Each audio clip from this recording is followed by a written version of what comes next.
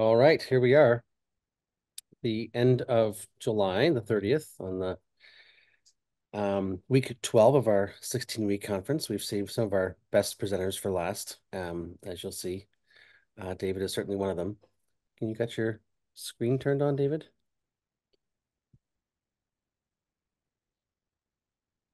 Looks like we can't see you yet, but I'll just keep talking for a second. Oh, there you are. Beautiful. Cool. Um, really happy to uh, to welcome everyone uh, to a meeting with David Knaus. I think he's one of those people who um, really should be more well known than he is. Um, I think he's been keeping a fairly low profile. He got a lot of things accomplished, but I'm not sure how much of his background he'll go into. Hopefully, a decent amount. He's um, been doing quite quite amazing work out in the West Coast um, uh, with Apical Ag, and I think he has some news to share with us today about a service that'll be being launched effectively right about now, which I think will be really powerful in this nutrient density um, process and conversation. So without any further ado, I'll just let you take it away, David. Thanks, Dan. Just want to make sure everybody can hear me. Give me the thumbs up if that's we're working. Okay.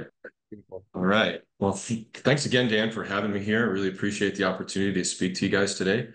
Um, really excited to i'd have never been to a um, nutrient conference. Uh, always wanted to go I uh, was never able to actually join. And uh, due to other commitments and it being scheduled often right juxtaposed to the acres conference.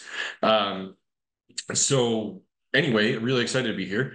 Uh, have a lot to share. Actually want to do a deep dive. So um, I think you need to put your snorkels away and just get your your regular old diving gear on today um, because we're probably going to get into some significantly uh, complex agronomic topics and how it relates to the quality of food uh, and overall lifestyle choices for people um, based upon that food. And so um, without further I really want to uh, delve into a lot of what we do at Apical, and we'll go from there. So uh, the title of the presentation today is called Unlocking Nutrient Density Through the New Paradigm of Crop Nutrition. I'm David Knaus, and president and founder of Apical Crop Science. So a little bit about my background and how I got to be here. Um, so from the time I was born, essentially, and even really before I was born, um, my mom was extremely into organic agriculture. And so this translated into me having a lot of uh, formational experiences when I was young.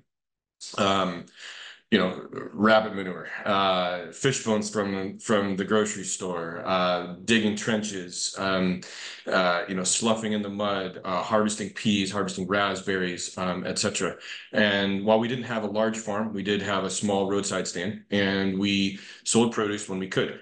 Um, for the remainder of the produce, we actually ate a lot of it and we did a lot of fairly subsistence agriculture. Um, we didn't have a lot of money when I was growing up and um, my mom was very uh, into natural living and organic agriculture. And so she instilled that in with me, in, into me as from a very young age.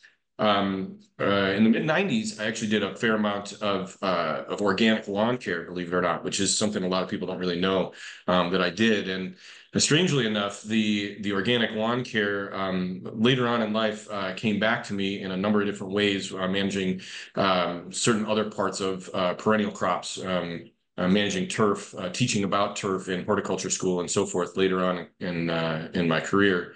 Um, throughout the late to, late 1990s and early 2000s, I did a lot of work um, around vineyards and breweries and nurseries and so forth. Um, and then I spent about 10, after that, I spent about 10 years uh, market farming for profit, um, greenhouses uh, on scale, you know, 6, 10, 10 12, 15 acres uh, of uh, market farm veggies, um, year-round season extended stuff um, uh, for chefs all around, uh, all around the Portland metro area and beyond. Um, high dollar value crops um, and so forth. And, and that really earned me a reputation within the local community and next thing you know, I was getting hired by Washington State University Extension to uh, to teach a number of different training programs through Washington State. Um, that continued for a handful of years um, until 2013 is really when I got my first um, formal university level agricultural uh, teaching position. And so I taught college for the better part of um, really 10 years between community college, extension, and university, um, but really university for about seven years. Um, along that way, uh, during the summer times, during when I was teaching, I would do a, a lot of crop consulting and crop advising um, through in the summertime. And so from 2014 to present, I have been a certified crop advisor and pesticide consultant. Um, and in 2017, I founded Apical Crop Science in its form that it is today as a full service lab, agronomy, and consulting service for growers wishing to do organic and or regenerative agriculture. And so Apical Crop Science is, uh, is, is, the company that I started, and we're based here on the West Coast. Uh, we've got about 12 employees, and um, that ebbs and flows, um, sometimes more, sometimes less, depending on the season and the year. Um, we are focused a lot in specialty crops, but believe it or not, we actually do extend into horticulture, forestry, and so forth. Um, our main claim to fame, and one of the things that has propelled us into uh, being somewhat of a leader in regenerative agriculture is uh, we were one of the first uh, labs in North America to do leaf sap analysis. And so some of you folks that may have heard of leaf sap analysis as a technology from European counterparts in European labs or labs in Australia or South America or South Africa rather. Um, anyway, we were one of the first in North America to do it. And um, so we started with leaf sap analysis. We continued into our investigation through really going in a deep dive on soils, which I'll get to more in a moment. Um, and we've continued to uh, expand our, our offerings into crop input analysis of fertilizers and biologicals, as well as crop nutritional analysis. And this is something I'll touch on later in the, in the presentation, but essentially the crop nutritional analysis that we're beginning to offer is a uh, mineral assessment uh, with a handful of other key uh, nutrients that growers can access uh, in a low cost way so that they can understand the mineral contribution that their crops are making to public health. Um, I'll talk more about that towards the end of the presentation. I want to understand I want the rest of the audience to understand how I got there and how we got there as a team and how we can all get there together as an industry or a country or what have you. So um, our entire business model rests upon taking laboratory analysis, using data science to make detailed recommendations, and then providing crop inputs that service those recommendations. And we do soil corrections, fertigation scheduling, foliar sprays, microbes, dry organic fertilizers, liquid and organic and regenerative fertilizers, carbon sources, microbiologicals, biostimulants, biopesticides, all from our warehouse here in Oregon. Uh, we ship all across the country, and we have an online store that services uh, small pack across the across the states. Just a second, David. I'm not yeah. sure, but you haven't uh, shared your screen yet. I'm not sure if you. Oh, okay. I was wondering, just go back an, and uh, intro first, and then. Yeah. yeah, thanks for thanks for the interruption, Dan. I appreciate that. Let me get make sure that my screen is shared. Okay.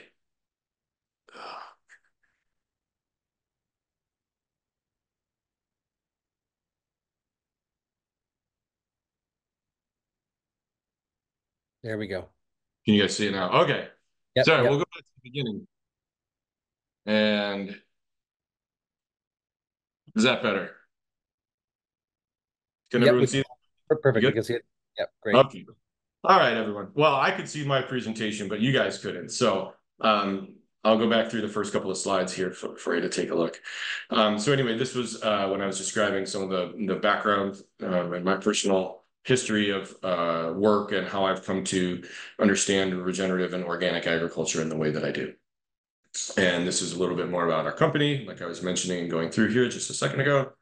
And here's where we are in the presentation. And so what you're seeing there on the right-hand side of the screen is uh, they're actually real life samples that people send in. Um, those are samples that we processed a number of years ago. Um, that looks like that at our at our office just about every morning. And people sending in leaf samples uh, for us to um, essentially extract and analyze and provide detailed recommendations for. So anyway, the using all of this data from that we've accumulated over the course of the last 10 years and using the biofeedback that we've uh, experienced from watching the plants in the field, working with them on a day-to-day basis in our local community, um, we use this, we leverage this to use precision crop nutrition and what this then does is it helps growers to manage risk or to gain diverse crop responses. Uh, it helps them to avoid pitfalls, manage inputs better, um, to learn new application techniques, and so on and so forth. And so all of this is essentially an integrated system towards regenerative agriculture from to take growers from a situation like you're seeing on the screen now, maybe not super healthy, um, maybe a little bit um, worn down by conventional agriculture, and then transition it into a uh, more vibrant future for that particular farmer or grower. So in the past, one of the things that led me to start the laboratory that we have today was um, a number of years ago, I had some relatively unsatisfactory experiences using other labs and following their recommendations and not having the the appropriate crop response that I'd hoped for, or feel like I wasted money um, on using those crop inputs, um, or maybe the crop inputs didn't really um, you know live up to their their marketing scheme or what have you. And so i started this investigation you know years and years ago 15 16 years ago while i was still a professional farmer um, into why non-organic outcomes are are the norm why organic outcomes are, are difficult to to um, to elucidate from or you know to elicit from different crop environments uh, and so on and so forth. And so eventually I came upon this research method of plant sap, and that uh, started a portable method of exploration, and eventually we started the, the brick and mortar. Um, currently, we consult on farms, vineyards, and orchards across the Western Hemisphere and uh, speak and educate on a range of agricultural topics. And we consult and conduct research and development on improving agricultural technologies and methods moving forward into the future, we really are interested in, in enhancing horticulture and forestry industries as well, uh, supporting American farmers and growing apical into a progressive leader in world agriculture.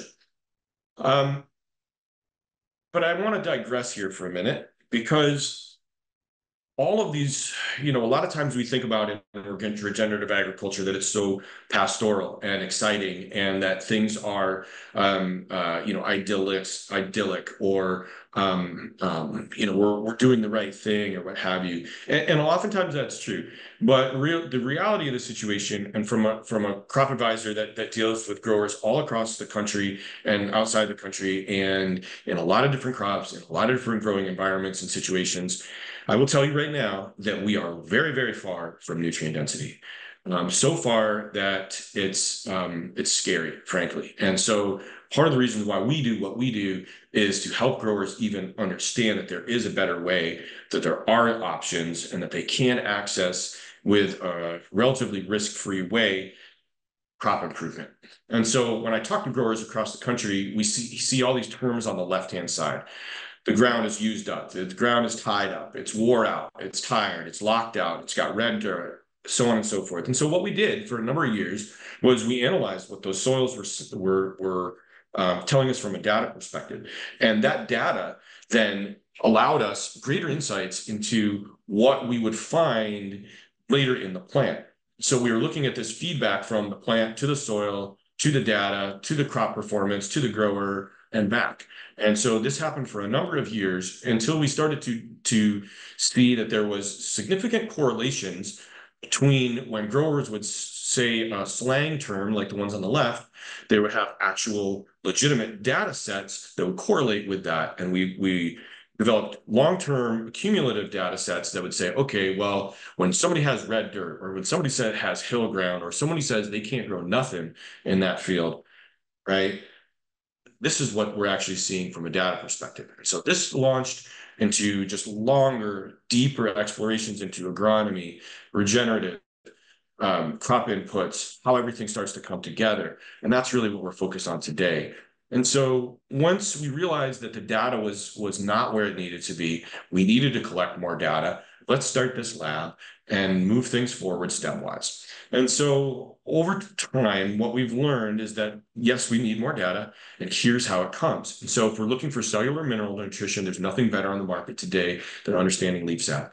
If you're looking for soil mineral, mineral availability, we understood now that there's many different soil analysis methods, and each one of those correspond to one type of soil analysis or more.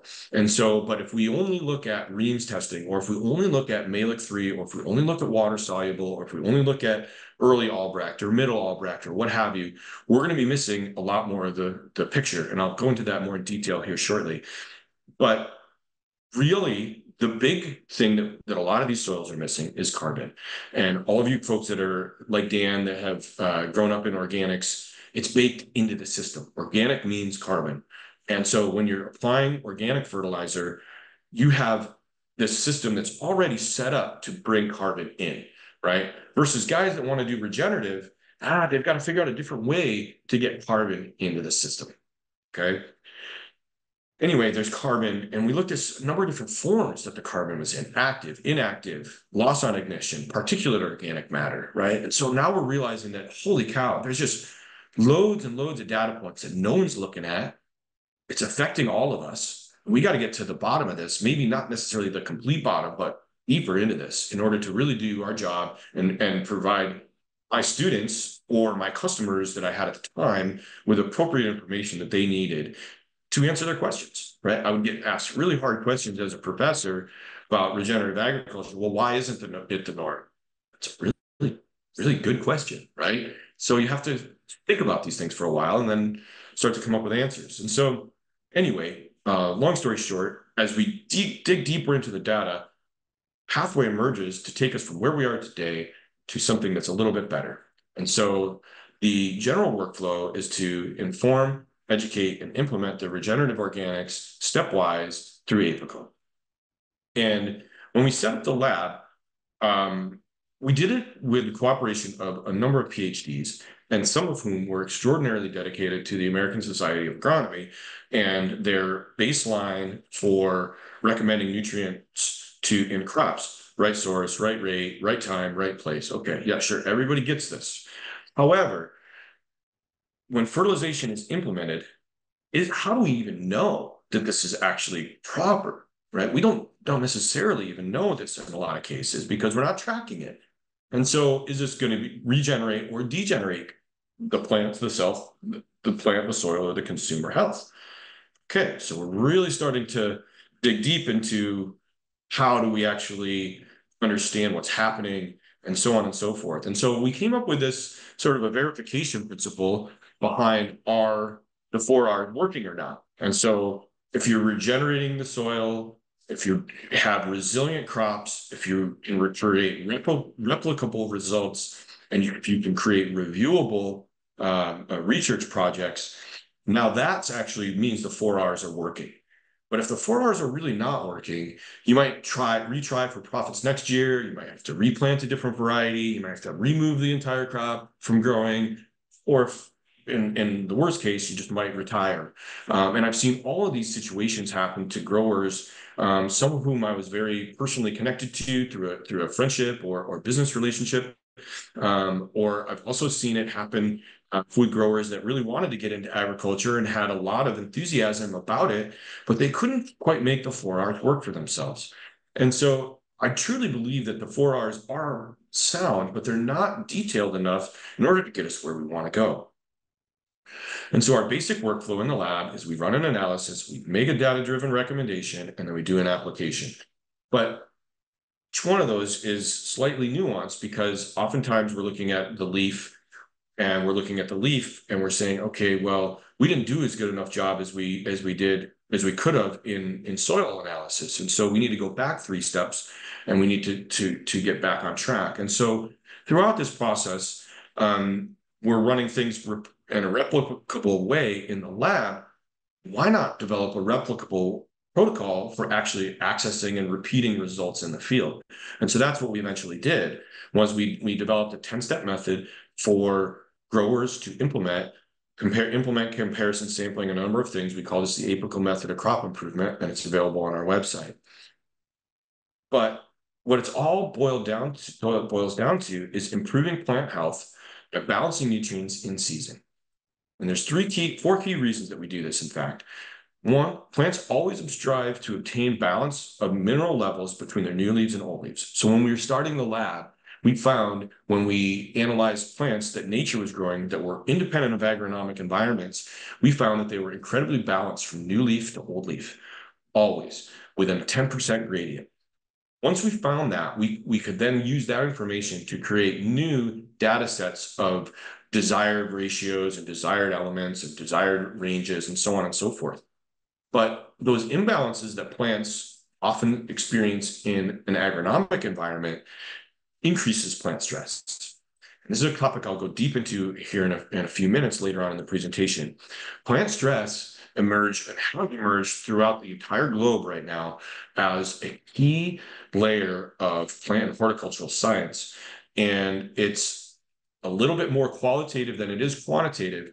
But that nonetheless, this is the realm that a lot of folks are trying to address when they're dealing with biostimulants, microbiologicals, and so forth. But if we're not actually cognizant of where the realm that we're that we're operating in, we're liable to end up in a place we don't know where we're going. And so by using proper analysis to guide the biostimulants, now we can have a, a new opportunity and a new way of interacting with plants. And so when stress slows or when stress increases, photosynthesis slows. Slower, slower photosynthesis decreases yield, sugar, sugar production, protein production, so on and so forth. A lot of this is pretty basic port science that you can learn from a lot of other agronomists in the industry. And this is another sort of situation where you can learn from a lot of other textbooks and so on and so forth, right? So you can, okay, I'm going to go out on my farm. I'm going to take a look at the field and I'm going to say, all right, well, I got this misshapen leaf in the top. Maybe it's a calcium deficiency, and I got this yellow leaf on the bottom. Maybe that's a nitrogen deficiency, but really, I don't know. And a lot of it may be guessing. And so, furthermore, now we've got our Mulder's chart where we're looking at nutrient antagonism and nutrient interaction. And oh, well, now we're going to make some even bigger guesses with a lot more complexity. And so when I was looking at, at this, you know, 10, 12 years ago, 13, 14 years ago, I, I my, my brain just kind of exploded. And I said, you know, this looks like a, you know, sort of a dream catcher, right? And so you're kind of lucky if, if you catch your dream in this situation. And a lot of times folks are not getting what they want. They're not getting the, the yield, the vigor, the, the nutrient value, the, the sugar production, any of these things from the crop. And so having experienced acutely crop failures uh, from from poor nutrition myself as a grower, and then also extreme crop successes from from proper nutrition, I was in a reasonable place to say, all right, let's develop some new tools, right? So if we have our lab, we've got PhDs on staff that can help us, and we've got a, a large and accumulating data set. Well, what we eventually did is we created what we uh, sort of refer to as our um, user interface for nutrient management of plants. And so we have an online database where all of our leaf and soil analysis are stored, where you can compare and contrast different data, data sets with one another, or you can compare the data set to itself, um, new leaf to old leaf, or you can compare your data set to all the other data sets that we've accumulated for that particular crop over time, um, and so on. And so what we end up with is a very large data science heavy agronomic entity. I know that's a lot to sort of grasp for a second here. Um, but when we really understood what was happening in the field, it was uh, a real tragedy because fertilization is often a lot of guesswork currently. Carbon deficiencies are a common cause of nutrient excesses. Um, nutrient excesses lead to cascading problems with growers. Uh, leaf sap analysis can identify easily nutrient deficiencies, though. And you can also use this, this type of technique to identify the efficacy of various crop inputs. You can compare certain growing conditions, healthy, sick, weak, strong, insect presence or absence, etc., and do it all in real time. So if you can then take more accurate fertilization, lower stress levels, now you can access better crop performance. And so this is the system that we've been uh, that's that we've been developing for 10 years. And so after analyzing leaf sap analysis from 2017 until about 2019, we were receiving repeat questions around surrounding soil health and how it related to leaf sap analysis from growers that we were working with.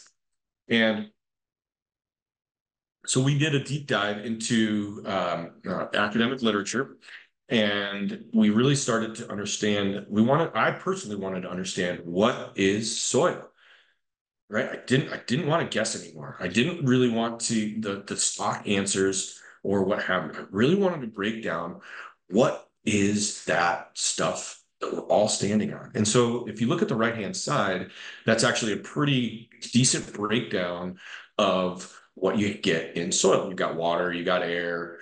Uh, but then the other thing that, that we get into here is we've got silicon, we've got aluminum, we've got iron in huge levels, right? And this is something I, that always bothered me about, um, you know, Albrecht mineral tests or Mehlich 3 type soil balancing is um, you would sometimes see really high levels of iron on the test or really high levels of silicon or aluminum, but it just wasn't addressed. It was just kind of said, oh, don't worry about that. It's not affecting the plant.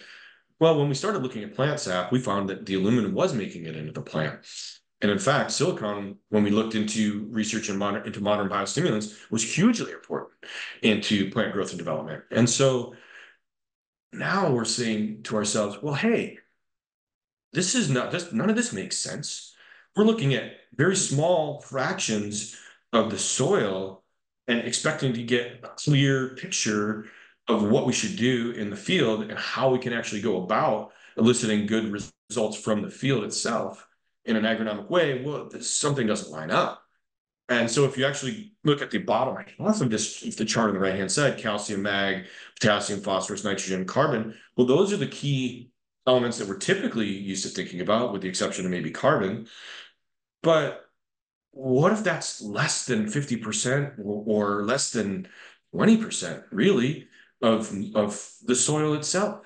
You don't think that we should be looking at the other 80%, right? And so what we found was that if we actually look through environmental analysis, the different methods and and, and uh, key players throughout organic and regenerative agriculture through the um, through the history of the last hundred years or so, you know, Carey Reams, William Albrecht, they were doing good work, but it just wasn't the complete picture.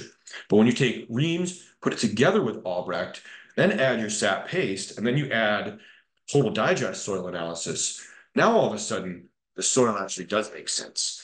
And there's there's hardcore equations that can be developed from silicate bicarbonate reactions or silicate phosphate reactions or aluminophosphate reactions, luminosilicate reactions, and so on and so forth. They're a little bit more complex than, say, your CEC balancing, but nonetheless extremely important in growing crops. Additionally, there's this whole layer of carbon and how it relates to anion exchange. Anion exchange, most people don't even really talk about it, right? We only talk, ever hear about CEC, cation exchange. Well, so one day I kept getting questions from growers saying, what about anion exchange? Can you tell me more about this? And I didn't really have good answers. And so I had to do everything I could to understand anion exchange as well. What I learned was that carbon is your key anion and it affects all the other anions on the anion side. And if you don't have carbon, you typically don't have anion exchange. That's a big problem. You don't have, you can't control the amount of phosphate, nitrate, silicate, carbonate, fluoride, iodine, and so on and so forth, and how that's going to get into your plant. If you don't have carbon in your soil, or to the extent you don't have it, you can't get those into the plant. Anyway, so I know that this isn't an entirely agronomic um, uh, audience. And so I'm going to skip through the remainder of this. But the bottom line is, is that we learned huge things about deep soil or about soils from our deep soil analytics. And this is an example of one of our tests where we're actually going through and we're looking at large data sets, four different extraction protocols, combining the data and then building recommendations from those. There's a lot that's missing in your typical soil analysis that most growers are doing, and it's affecting the health, the vibrancy, all of us today. Okay, so moving on from soil analysis, because I'm very passionate about plant and soil analysis. So if I get if I act a little upset, it's because I, I get very um, uh, worked up because of how um, how many problems there are and how avoidable the problems are in in modern agriculture. So anyway, um, moving on, uh, water analysis was something that we started to look at.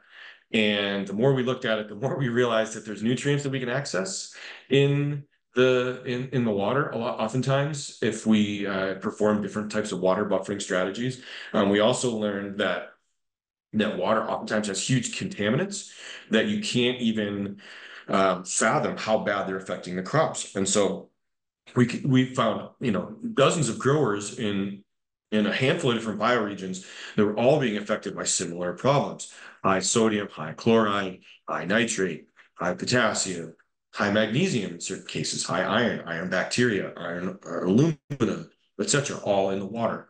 And so it's a slow feed poison to the plant all day long, every single day. So most irrigation water is contaminated. Rainwater has really beneficial properties, and that water contamination is often being overlooked. How much is this affecting the food that we eat? Astronomically. It's just, it's it's beyond understanding. And so once we finally had accumulated these three basic techniques that we felt were extremely powerful and had relevance to the growers, um, we built a grower interface profile that allows growers to compare and contrast and allows you to track the, the incoming field and, and geotag it up upon a uh, on a mapping system. So for you, so you can geotag weather or other types of geospatial data to it. Um, we've you can also chart uh, one test to another. You can compare and contrast uh, individual reports. You can track nutrients over time. Uh, there's a lot of things you can do with the data science feature features upon our website. So this nutrient management interface was then used or is, is, is in use daily across the board with ourselves and all the customers that we work with, excuse me, to provide diagnostics data science and crop line feedback. So our detailed recommendations then allow growers to compare the, the, the plant response from, from, from one type of crop treatment to another. And so now what we've done is we've basically uh, decentralized the ability for growers to conduct on-farm research. And so I don't, that's not, I don't really want to understate that because if you're a grower and you've got, you know, 10, uh, you know, chemical salesmen that show up at your farm every day and they say, you know, this is my thing, it's the best. Well, you can put them put them to the test, develop your own experiment, run things through the run run samples through the lab, develop your own biofeedback mechanism, and away you go. And so now what we've done, and, and is we've essentially what was sort of this this um, hierarchical system that was controlled from universities, laboratory science, chemical companies, and so forth has now been decentralized. You can use the information that we're that you can access through Apical to provide you with the own information that you need to either make new crop inputs, build, synthesize them from your own uh, uh, raw materials that you have on site, assess how those perform against uh, known known crop and products in the environment, so on and so forth. Track your progress, compare with your friends. Uh, the possibilities are, are significantly enhanced having this data platform and being able to store all of your reports on there at once. But I digress again you've got the apical agronomy method that's really all dedicated to improving soil biology and plant health by balancing soil nutrients through diverse applications of mineral inputs. We've just professionalized it and made it very systematic in the way that we're doing so through the laboratory protocols. But I want to also start to draw some distinction between what we're doing today at Apical and what the typical paradigm is is out there, and and then use this as a reference point for how we go from where we are today as a species to where we want to be, using some of the research that some of the previous presenters in this conference have done as well. And so when we start to look at addressing a problem in the field, grower says, "Hey, we've got an issue, whatever it might be," we can then circle back to this basic six-step process that we implement typically. But I want to really stress that most growers just go to step six and they say, we want to, we want biotic stress relief. We want those insects gone today. Well, if you don't understand the five steps that came before it and the stress that the plant encountered on the way to be, becoming susceptible, you, are going to be on a treadmill trying to get off of it. And so I, I would care to say that our species has been on a treadmill for about 50, 60 years. We've got to get off of it. And this is how. So what we've learned is there's deeper levels within um, within plant physiology that most people are not even aware of or looking at, not even close. And so when we dig into some of these some of these data sets through the leaf sap or through the soil, now we can understand that before long before that insect showed up, we had a carbon to nitrogen ratio that went out of balance. We had abiotic stress that happened to that plant, or we had a toxin that came in through the plants having non-selective access to soil nutrients. Really want to drill that point home. When you don't have sufficient carbon in the soil environment, you, your plant can't access the nutrients it wants. It's going to be force fed by what it has available to it. Sort of like if you go to, you know, like I spend a lot of time on the road going to visit growers across the, the Western states. And when I do, I, I stop into a convenience store. Can't eat hardly anything in there, not even the water, not the food or anything. It's all essentially poison, right? in one form or another saturated fats high amounts of sugar all kinds of chemicals of uh, different shapes and sizes and so on and so forth so if there's been this toxin that's been into the plant soil environment and it's preventing the plant from accessing the nutrients that it doesn't or that it really truly needs now all of a sudden we've got this cascading um, uh, whatever you want to call it disaster um, that's waiting to happen that is our food supply and unfortunately, as much as we want to talk about nutrient density, we're so far from that today. We really need to get back to square one, get back to the basics, stop all the fluff, roll up our sleeves, look at the data, use, use hardcore science. We can get there. And through this process, we realized that the data wasn't even enough, that, that the inputs out there themselves are not conducive to building the appropriate systems where plants can grow healthy crops. Okay. And so through our network of global vendors and crop input manufacturers and crop input uh, suppliers, we've developed a whole range of crop inputs that are available on our website. We have a whole range more coming to the table here shortly um, that are extremely excited about. I can't express how excited I am about some of these inputs. Um, the initial beta testing that's happened um, from some of these inputs is is it's mind blowing. Um, you know, growers are calling some of these inputs the silver bullet or um, uh, the greatest thing I've ever seen, or they say things like the plant shouldn't look this good, or they almost look fake. Um, those types of uh, that type of feedback, and so our entire food system is resting upon wrong inputs, on wrong data, put together in a wrong way it's a sad state of affairs. And this is what I realized to a lesser degree over 20 years ago and why I dedicated my life to doing this. So once all this is starting to come together for us as a company, we developed what we refer to as our Apical Guide to Plant Nutritional Stress. And so there's this key thing that we talk about here at Apical where visible stress starts out as nutritional stress. Okay. So your plant might have a nutritional excess or a nutritional deficiency. And then three, three days or three weeks later, oh, that thing's not growing right. Right. Or it shows up as a red on your RGB, on your NDVI, for those of you that are versed into, into uh, uh, you know, infrared or um, other types of analytics. What we're seeing is that your nutritional stress is, is vital to every other thing that's happening on your farm. And so if you manage your nutritional stress properly, the chances of you actually managing your plant stress significantly improve. And I'll go into this plant stress concept here in a second. But what we've done now is so we so we came up with this guide that's about 20 pages long. Um, and it's got uh, plant nutritional stress, soil nutritional stress, both deficiencies and excesses, and what the actual individual elements are doing qualitatively. So if you look at elements such as aluminum, uh, in, that's here on the, on the screen.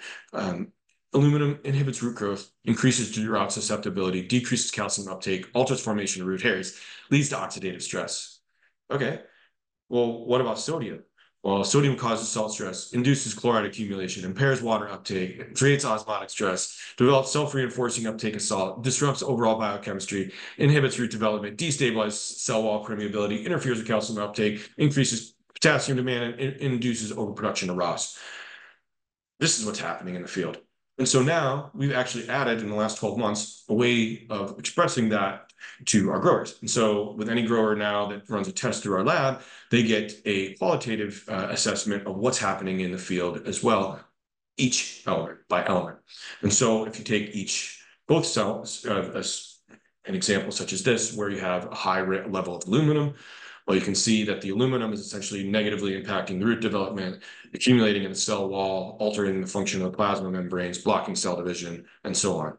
And so what you'll actually see is this explanation of what's happening in the field versus looking at the leaf test and just saying, I got high aluminum. Eh, not super, not super worried about that. Let's go put some more nutrients on and move and nitrogen and move on. Okay. No, that's we need to stop. We need to take a step back, realize what this what the plant is trying to tell you, and what they're experiencing, and then how you can use that information to make better judgment. And so there is a deeper level to actual nutritional stress, and that's the long-term cumulative nutritional stress, which actually is full systemic stress. So if you look at oxidative, molecular, abiotic, metals, and so on and so forth, all of these are, are key layers of stress, and I'll get to a few more in a second. But a number of years ago, we added deluxe analytes to any, any leaf, soil, or water test. And so those deluxe analytes are listed on the left-hand side, oxidation reduction potential, total proteins, free amino acid, total phenols, heavy metals, and ethanol. These are key analytes that can be looked at and they can help you understand some of the other layers of what's happening out there in your plants. Okay, so if we understand that ORP is high, we can understand that that plant is under antiox or uh, antioxidant deficiency or oxidative stress. Or if we see that uh, free amino nitrogen is uh, is is high, well, that actually has an almost one to one correlation in even in academic literature um, to insect and disease pressure, actually specifically insect pressure. Uh, insects come to feed on free amino nitrogen. So anyway, there's a huge amount of uh, information that can be accessed from deluxe analytes within our within our leaf leaf sap analysis as well as our soil analysis. These analytes now are deeper layer to understanding what's happening in the plant. If you're looking at, at different types of heavy metals, right, arsenic or mercury or um, chromium or, or cadmium, for instance. These have huge, huge downregulating effects on all of the other nutrients. Okay. And so the other the other key element to our deluxe analytes, it actually allows you to, to intelligently, effectively, and judiciously use plant biostimulants. Because now we understand if the silicon product is actually going to have an effect or if an antioxidant uh, type uh, product like an algae or something like that may have an effect or, or so on and so forth. And here, without further ado, is one of our diagrams that where we've uh, identified a number of key points of plant stress. And uh, I, I really talk a lot about plant stress uh, nowadays because we see it so much show up in nutritional values on data sets within the leaf test. And so my experience as an agronomist running leaf samples from 2017 to 2020, going out and, and seeing in our local environment here in the Pacific Northwest, those data sets, how they corresponded in real time with my own eyes, what that meant to the data, how that looked to the, you know, how that, how the data made the plant look, looking at that with my own eyes in the field, looking at my, looking at the tests at the same time, and doing it over across hundreds of blocks across multiple different um, uh, you know multiple different bioregions and growing environments and soil types all this concept of plant stress was hugely um, evident to me. You could see when plants were under extreme heat, and you could see their data go crazy on the leaf on the leaf tests, and the chlorides and the salts go bonkers. Or you could see when you had uh, heavy soil compaction, or when when both were doing over acidification, you could see the aluminum and sulfur levels skyrocket in the plant, and all of a sudden the plant starts the crops start rotting in the field. Um, all these were very uh, uh, real experiences to myself other consultants within our network and also environment uh, and growing environments that, folks that we worked with. And so experiencing plant stress, correlating it to nutritional stress, watching that data set on the leaf and soil analysis, this has been really what we've been looking at. When you dig into academic literature, plant stress is very, very well studied, but in horticulture, not necessarily in agriculture. So there's this disconnect, just like geochemistry is separate from soil science. These disconnects, the internet's it's too big now, right? So um, anyway, okay. So say you've got a crop and it becomes uh, stressed through one of those means that I just identified, and you start to think that you're going to lo lose systematic reduction of crop potential. Okay, so the first thing that typically happens is microbial disruption, um, and that can happen through heat or weather, um, you know, flooding, um, drought, uh, chemicals, etc. Um, uh, that typically then leads to a micronutrient shortage or a carbon shortage. Um, once that happens, you're very not far off from a macronutrient and imbalance, which then typically leads to a non-nutrient uptake. That cascading uh, reduction of crop potential happens whenever any any stress is, is is present. And so when folks out there, others in the industry say things like, we really don't understand what the crops are, uh, look like or what healthy crops are or how to get there, um, I would definitely agree. We don't really understand. I've seen shades of it and, and, and once in a while you'll see things like, oh, that that was close, right? Or we did a 20 ton blueberry or we did a, you know, a 15 ton carry or, or, or whatever the situation might be. Um, there's still additional layers that these plants can access. I don't know that there's really an end to the potential for plants to uptake nutrients when you have sufficient carbon. And so I really want to drill down on that in, in, the, in the middle of that triangle is carbon deficiency. You're creating susceptible hosts through the deficiency of carbon and the envir environmental conditions. Once that pathogen is present, you typically have a insect or disease breakout. And so when you have nutritional stress, the plant is faced with three options. One, it can continue to try to grow. Two, it can try to essentially self-cannibalize itself. Or three, it can create self-injury. So what we found throughout our research is that nut plant nutrient excesses create suicidal tendencies, and plant nutrient deficiencies create self-cannibalism. So in other words, if plant doesn't have sufficient nitrogen, magnesium, potassium, etc., you see this start to cannibalize its own leaves to, pr to promote growth into the new part of the plant. Okay, that makes sense. A lot of people get that. But the other piece of the puzzle is that plants have too much salt, chloride, aluminum, manganese, whatever it might be. Any of the nutrient can become uh, essentially excessive. When you have plant nutrient excesses, those suicidal tendencies now um, uh, are, are essentially a defense mechanism so that the plant limits its own cancerous growth or imbalanced or um, abnormal growth. The second thing that happens is stress proteins get created, the living dead cells get sorted, the dead cells get dissolved by other stress proteins, dead organs get discarded, and limited or no growth continues. Well, what happens? This is this not exactly what you see when you see apples drop fruit in the middle of summer, or if you see blueberries drop blooms uh, at petal fall right? Where they actually drop the fruit or, or what have you. So by looking at long-term data sets and comparing those to crops that were uh, exhibiting these symptoms year over year, from 2017 to 2021, this is what we actually learned was that this is actually happening in real time. And so your flower abortment, your petal abortment, your petal misshapen, your, uh, your, your fruit drop, all of these things are being caused by plant nutrient excesses. And it's so sad because oftentimes we're thinking that we're deficient in nutrients when really we're typically excessive in the wrong ones. And so why, right? So I mentioned a minute, a few minutes ago that without carbon, you can have no selective root uptake, right? You, you the plant can't, it's, it's going to be force fed. It's only going to uptake all that food from, from the 7-Eleven essentially. And so that's your 1970s paradigm, right? But we're not in the 70s anymore. We got to move on. Parents are getting old. We've got cell phones now, right? iPhones, whatever. VR, all kinds of things. Okay, well, our production of food has to match this. Come on, guys, we got to get this together. So your basic soil evaluation and plant evaluation now in 2020 is significantly different through soil mineral assessment, carbon storage and release, microbial management, and allelopathy, you can access and manage most problems with your crops. The plant sap testing should only be for the for when you don't do soil balancing properly. Okay. Don't get me wrong. Plant sap is a great tool, but you can end up over relying upon plant sap if you don't really fully understand what happens in soils. And this is one thing that happened to us And it was one of the reasons why we went back to the drawing board and really wanted to understand soils, physical, mineral, weathering of rocks, what the soil is, how did it happen, how did it work, so on and so forth.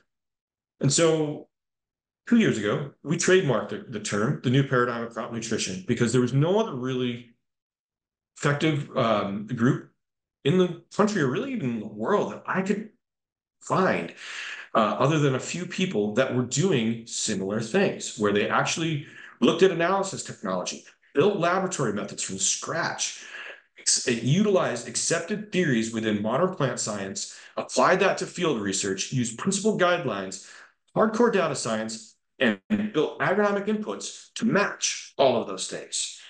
And so we didn't really have anything else to call it. Like folks, after a while, we're doing all this work. We started at the plant sap lab, like that's what we did.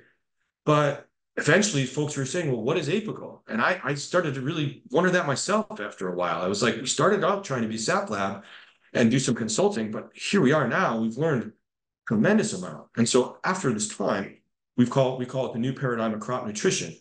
And the technical definition of that is an innovative comp compilation of analysis technology, laboratory me methods, accepted theories, field research, principal guidelines, data science, agronomic inputs that represents a significant departure from conventional agriculture and a structured, structured path to crop improvement. That's what we do at Apical all day, every day. I titled the, um, ironically, I, I, entitled the um, company Apical Crop Science to begin with, but it didn't really understand that that was actually what the science would be is the science of healthy crop growing. It's a full, almost an own branch of science at this point, what we're doing here. We're so far off the map when, when it comes to soil analysis and the other labs out there, or leaf analysis, what most of the other guys are doing, application technologies, and so on and so forth.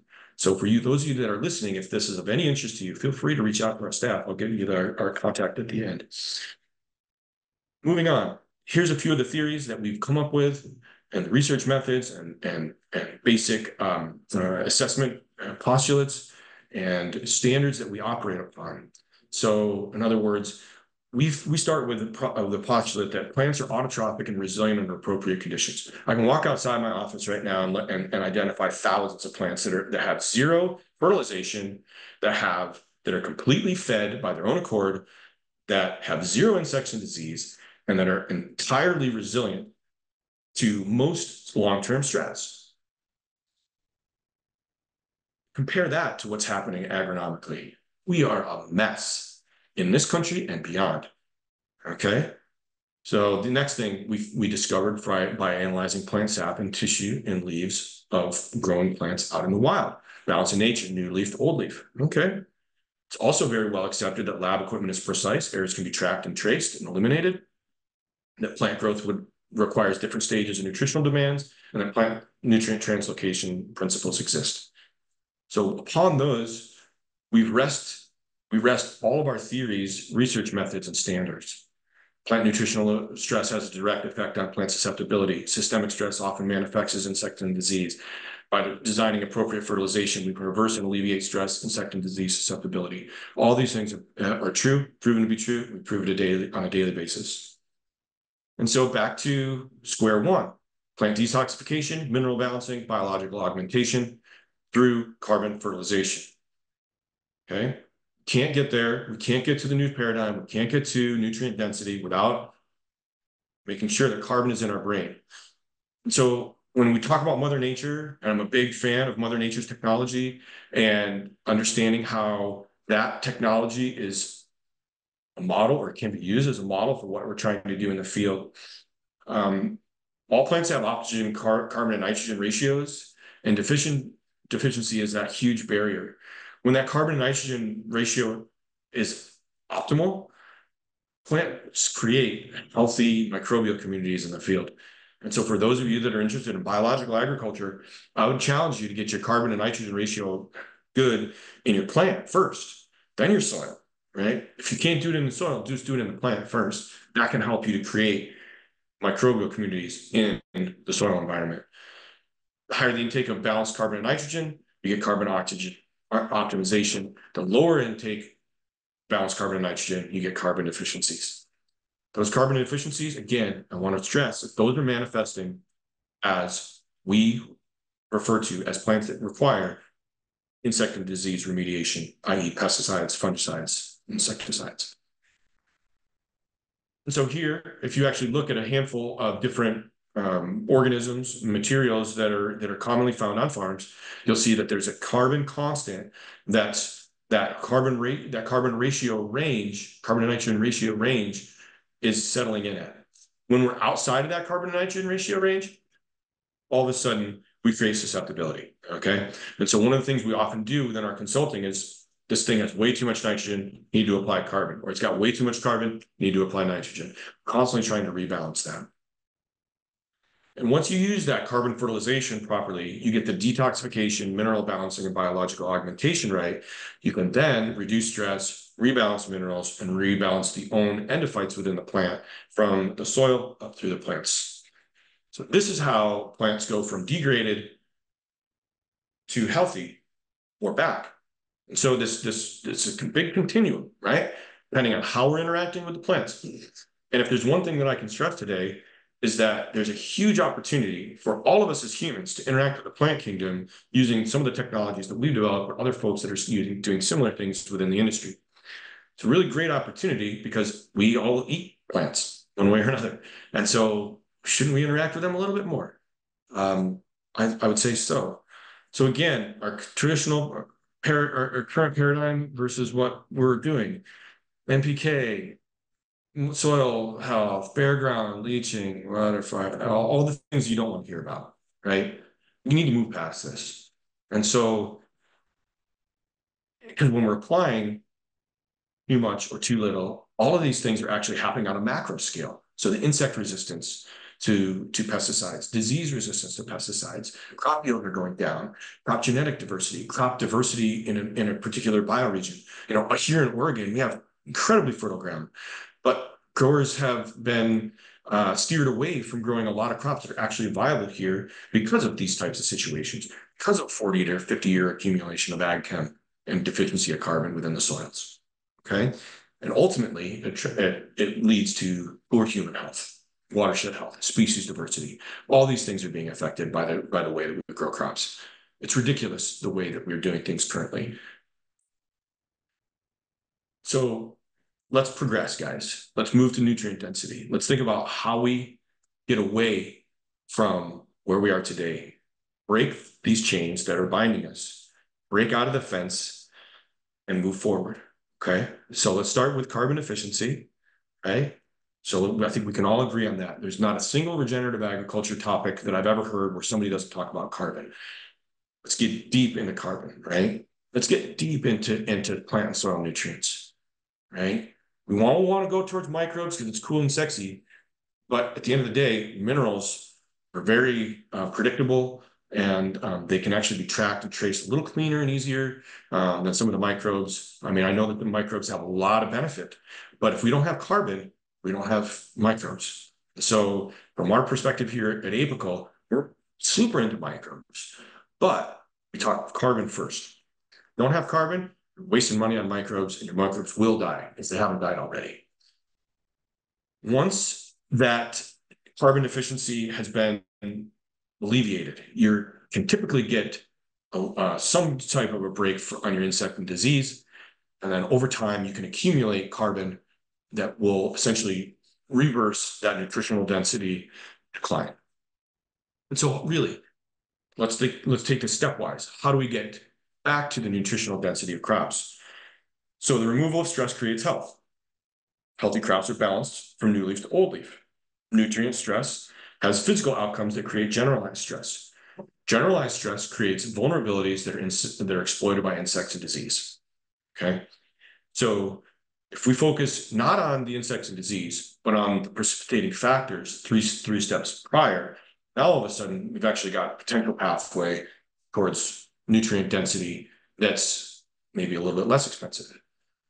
And so again, circling back to carbon, plants typically are, are taking the amount of carbon that they can access, assessing it in their own way. I don't know how they necessarily do it intelligently, but they do.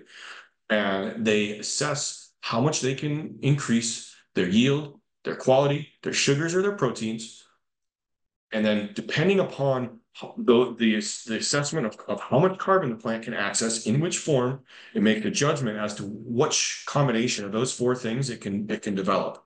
And if anything goes wrong in that process from start to finish, right? So the plant does this early on in its lifetime.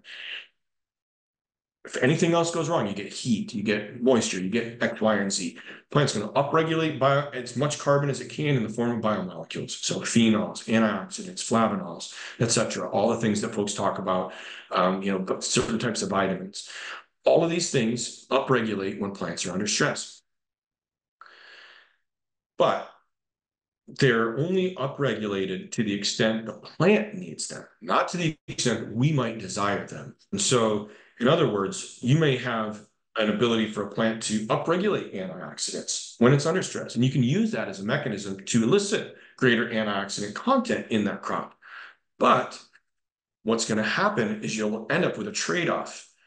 And so what the when these plant they, the plants have to balance nutrients, microbiology, physical growing habitat, weather, light, all these things, just the way that you have to balance your family, your job, your social life, your hobbies, and, and, and, your ancestors, right? Your, your parents or whoever you take care of. And so there's this huge connection between the nutrition of the crops and the nutrition of the humans.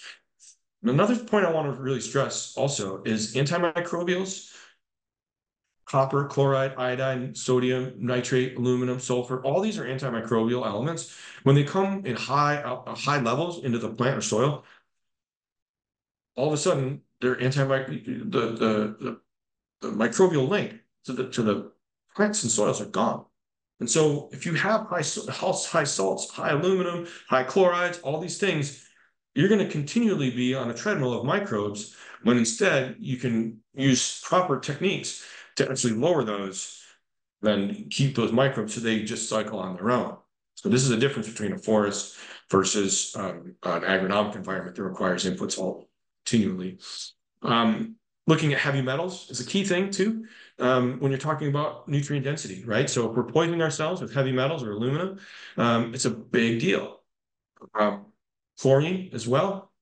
Uh, I don't even know where to start with in terms of how chlorine disrupts the, the, the gut microbiome and so on and so forth. There's others that are way more versed in this. All I know is it certainly does um, does affect it. I personally feel it when I drink a lot of chlorine. I feel it in my sinuses, um, but uh, maybe that's just me. Anyway, I digress again. The key point that I was trying to make a second ago is that nutrient density is really in the eye of the beholder. Not all fruit is created equal. Trade-offs exist in nature, and plant stress triggers trade-offs.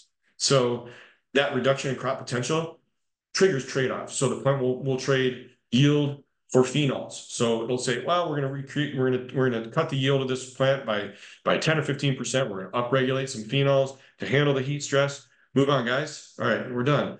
Well, what if the plant wants high yield, um, but then it's continually overfed nitrogen, right? Well, now you're going to have low protein, potentially potentially low sugars and low phenols, but you get high yield right? And so there's trade-offs, right? So low yield, high mineral content, high phytonutrients. You know, how do you get there? And so I think when we start to talk about nutrient density, the nutrient density truly is going to be in the eye of the beholder. So in other words, do we need more protein? Do we need more sugar or less? Do we need more, uh, um, say we've got um, um, we'll call it a uh, uh, uh, you know salmonella or some other sort of microbiological poisoning. Is there a way that we could use foods to help that, right? Um, in in a in an antimicrobial way, even. What if we have uh, plants that we really want a high phenolic content or or really complex sugars? Well, we can we can elicit that through certain growing techniques and then maybe that changes the, the way that a wine uh, expresses itself or berries express themselves in a particular situation. Um, these are certain things that we're ex experimenting with, have experience in certain ways here at Apical with our customer base. And we're really excited about moving this new paradigm forward from where we are today into one that's really actually focused on the, the food quality and all the steps that the plant took to get there.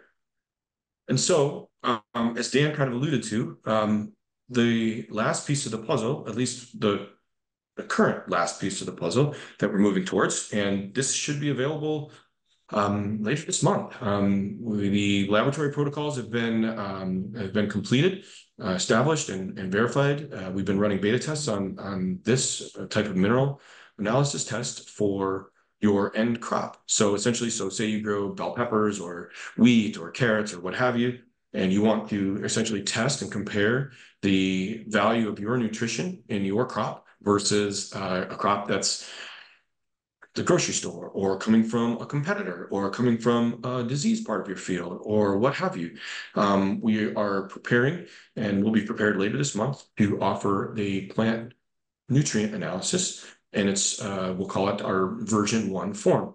Um, we're calling it our version one form because we're essentially setting up to look at heavy metals and contamination, key nutrients, and basic indicators. There's a lot more. Um, certainly, by no means is this comprehensive or of um, a, a, complete effort, right? This is our jumping off point with things that we can do today uh, in our lab that we know will help growers assess the nutrients that they're creating from their produce and compare and contrast that, maybe use it as a marketing tool, maybe use it as, a, as their own um, uh, contemplation uh, piece to understand how they can actually create better um, uh, crops for their for their customer base.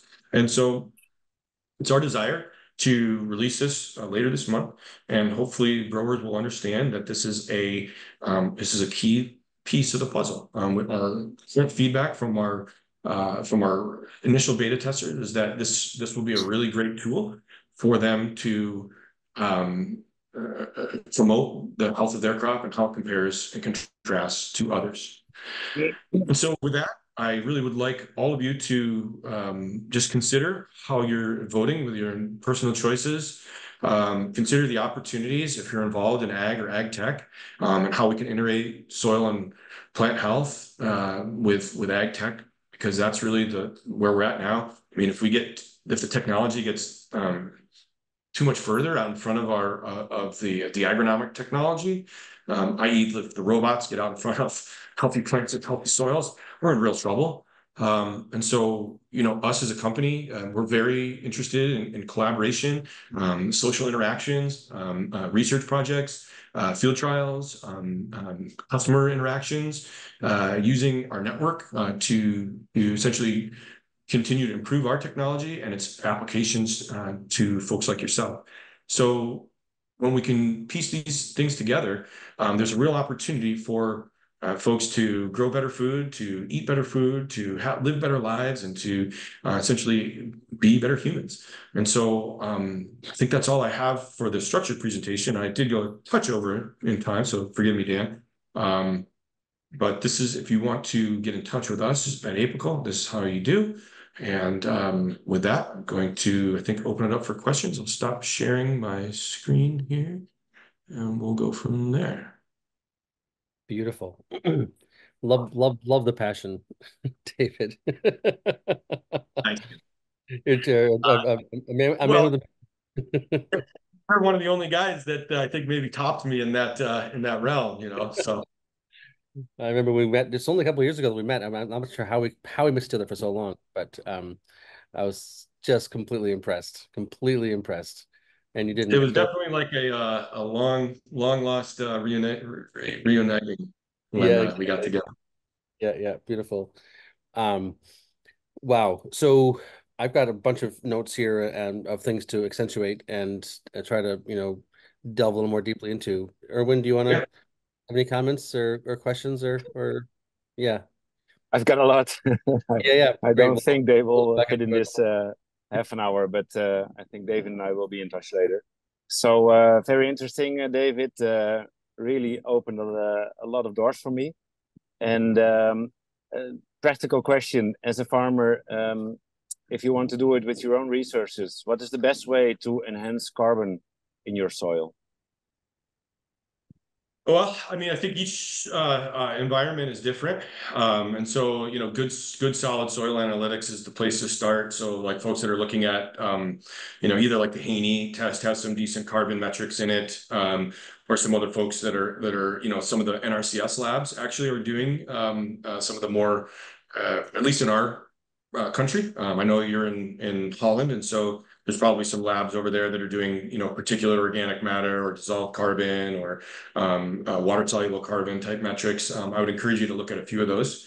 Um, and I would also encourage you to maybe look at the diverse inputs that are out there, you know, biochar, um, maybe some of the ones that we've you might have used in the past. Uh, if you've already used them for many years, maybe like diversify a little bit. So, you know, for years, many years, I did car, um, you know, compost and compost teas and maybe fish and seaweeds and things like that. And, and once I started to open my realm up into, you know, uh, plant-based biostimulants, bioflavonoids, um, uh, microbial exudates, um, um, biochars, uh, soluble organic acids, um, uh, things like that. Uh, the, the the the nature of the way I was interacting with carbon seemed to change a little bit.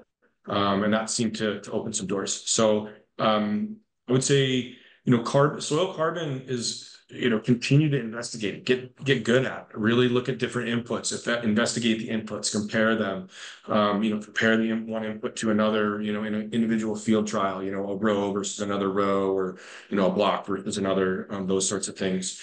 There's no hard and fast answer, but we've what I can say is um, biochar definitely has a role to play. Humic substances for sure. Um, compost and, and microbial uh, types of exudates. Um, those also, um, you know, your essential oils and your fatty acids and all these. Um, they may not be thought of as carbon, but they are. Right, so so phenolic molecule from a thyme plant that's mostly carbon, right? Or or you know a, um, a cinnamon cinnamaldehyde from a cinnamon plant that's that's mostly carbon, and and so those plants will, uh, or those types of um, inputs will actually raise carbon levels in the plant, not necessarily in the soil, but they'll raise them in the plant. And then that that um, carbon deficiency in the plant that I kind of was alluding to, um, and that carbon imbalance between nitrogen, that there is is a key layer. And so, like when you look at those essential oil type, there there are a lot of carbon like jammed together, like really concentrated carbon that then diverses throughout the plant's own own system. Or like you take a humic, it's almost like putting a humic in the plant, right? Um, so anyway, I don't want to get too deep in the weeds, but those are just a few of the strategies. Yeah. So, but you mean that by getting carbon in the plant, you make the plant more balanced or being able to handle its excesses by then making the photosynthesis photosynthesis better and hence um, extracting carbon from the atmosphere into the soil through the root exudates. Absolutely. Yes. Yeah. Yes. yes. Yeah. It's it's not your point to uh, put carbon by these inputs like at, as a as a bar to raise in the soil. I mean, uh, okay. Maybe so with compost, but yeah, yeah, yeah. So, so you know, 20 years ago, um, uh, you know, when I was in my market farming heyday, um, you know, I, I would go great crops in in market farming environments, but we would put, you know, 100 ton of compost out before we got started, right, and raise that carbon level in the soil. Well, when you talk about trying to do that on a couple thousand acres, yeah. I mean, you do the numbers, you're talking millions of millions of, uh, of yards of compost. And so you just, it doesn't compute. And so you have to be a little bit more creative. Um, and so he robs do, everyone else of his compost too. Yeah, yeah, yeah, right, right. I mean, there's, you know, there's, uh, we're lucky here in the Northwest. We have sawdust, we have compost, we have a lot of forage and dairy and, you know, things like that. But other folks are not so lucky. And so, um, uh, you know, biochar is a big one. Like I, I really encourage a lot of guys to look at biochar, give that another look. Um, it's not as easy to work with. There's some nuances to using it. Um, but the it doesn't make sense to try to take every soil out there and go from a um, you know, from a three percent organic matter to a to a nine, eight or a nine percent, and get those plants up to where they need to be. It's just not. It's never going to happen.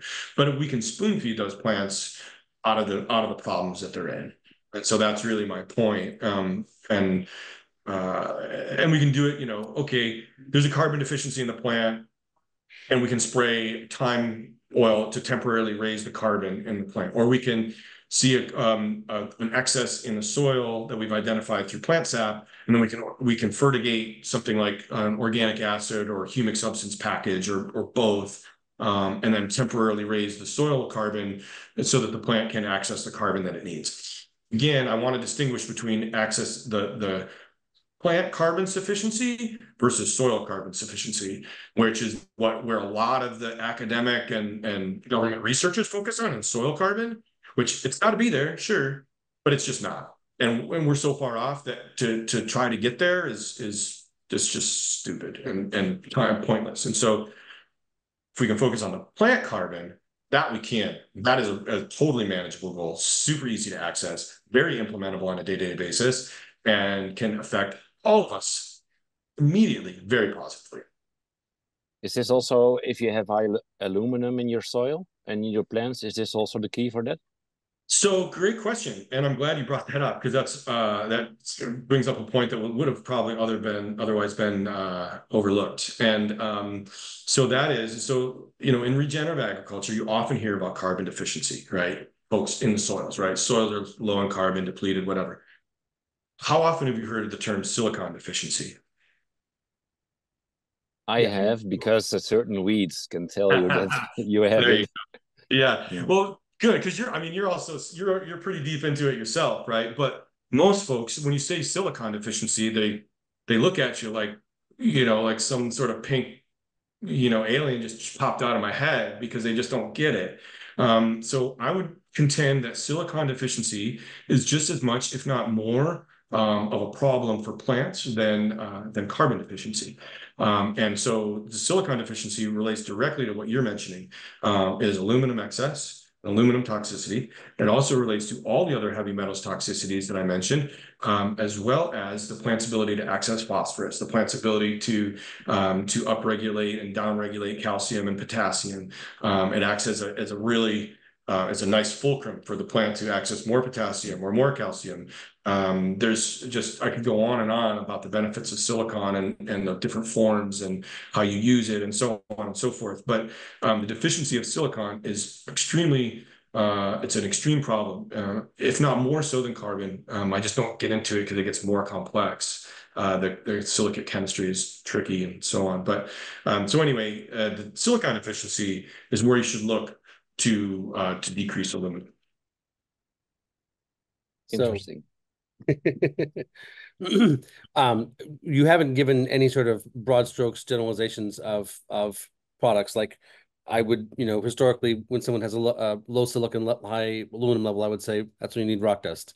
That's when you need your finely ground basalt and and and granite materials, for instance. Um, mm -hmm. Yeah. So I mean, I know you've told me some stories about some. Was it micronized biochar or micronized humates that were? Both. I'm not yeah. sure how small they were, and were applied at three or four kilograms per hectare or something ridiculous. Oh, yeah. Two kilograms I mean, like pounds, and you, are worried about creating and tying up nitrogen in certain cases. Some of the stuff, yeah.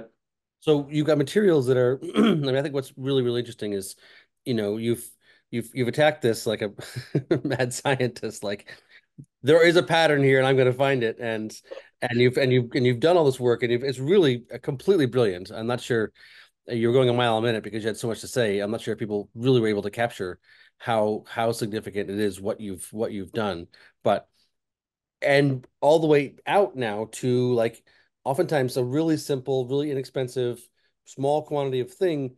yeah. You actually know what's going on is all that's needed to completely, you know, pivot things back to where they should be. And in many cases, you know, a little bit is perfect. More is is categorically not that whole moron principle, which I think, again, you said to me in the past. To in many people's cases, excess is the foundational issue, and it's not about deficiency of this or deficiency of that. That's a fun foundational issue.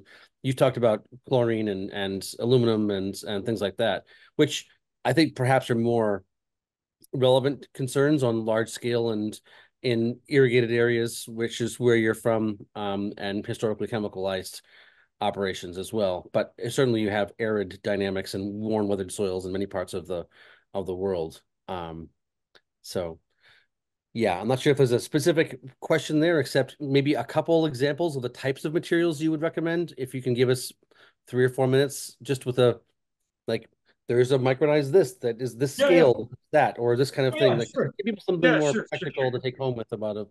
Um, yeah. I think Erwin nuggets.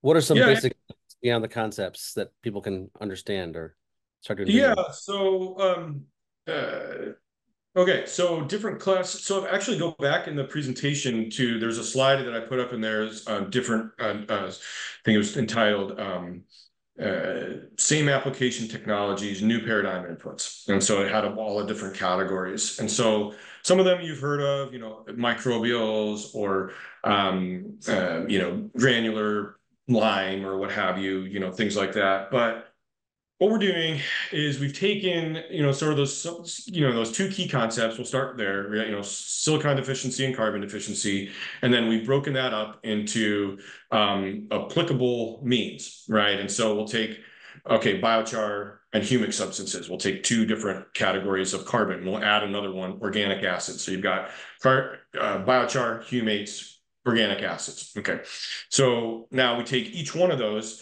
and then they're going into pelleted inputs.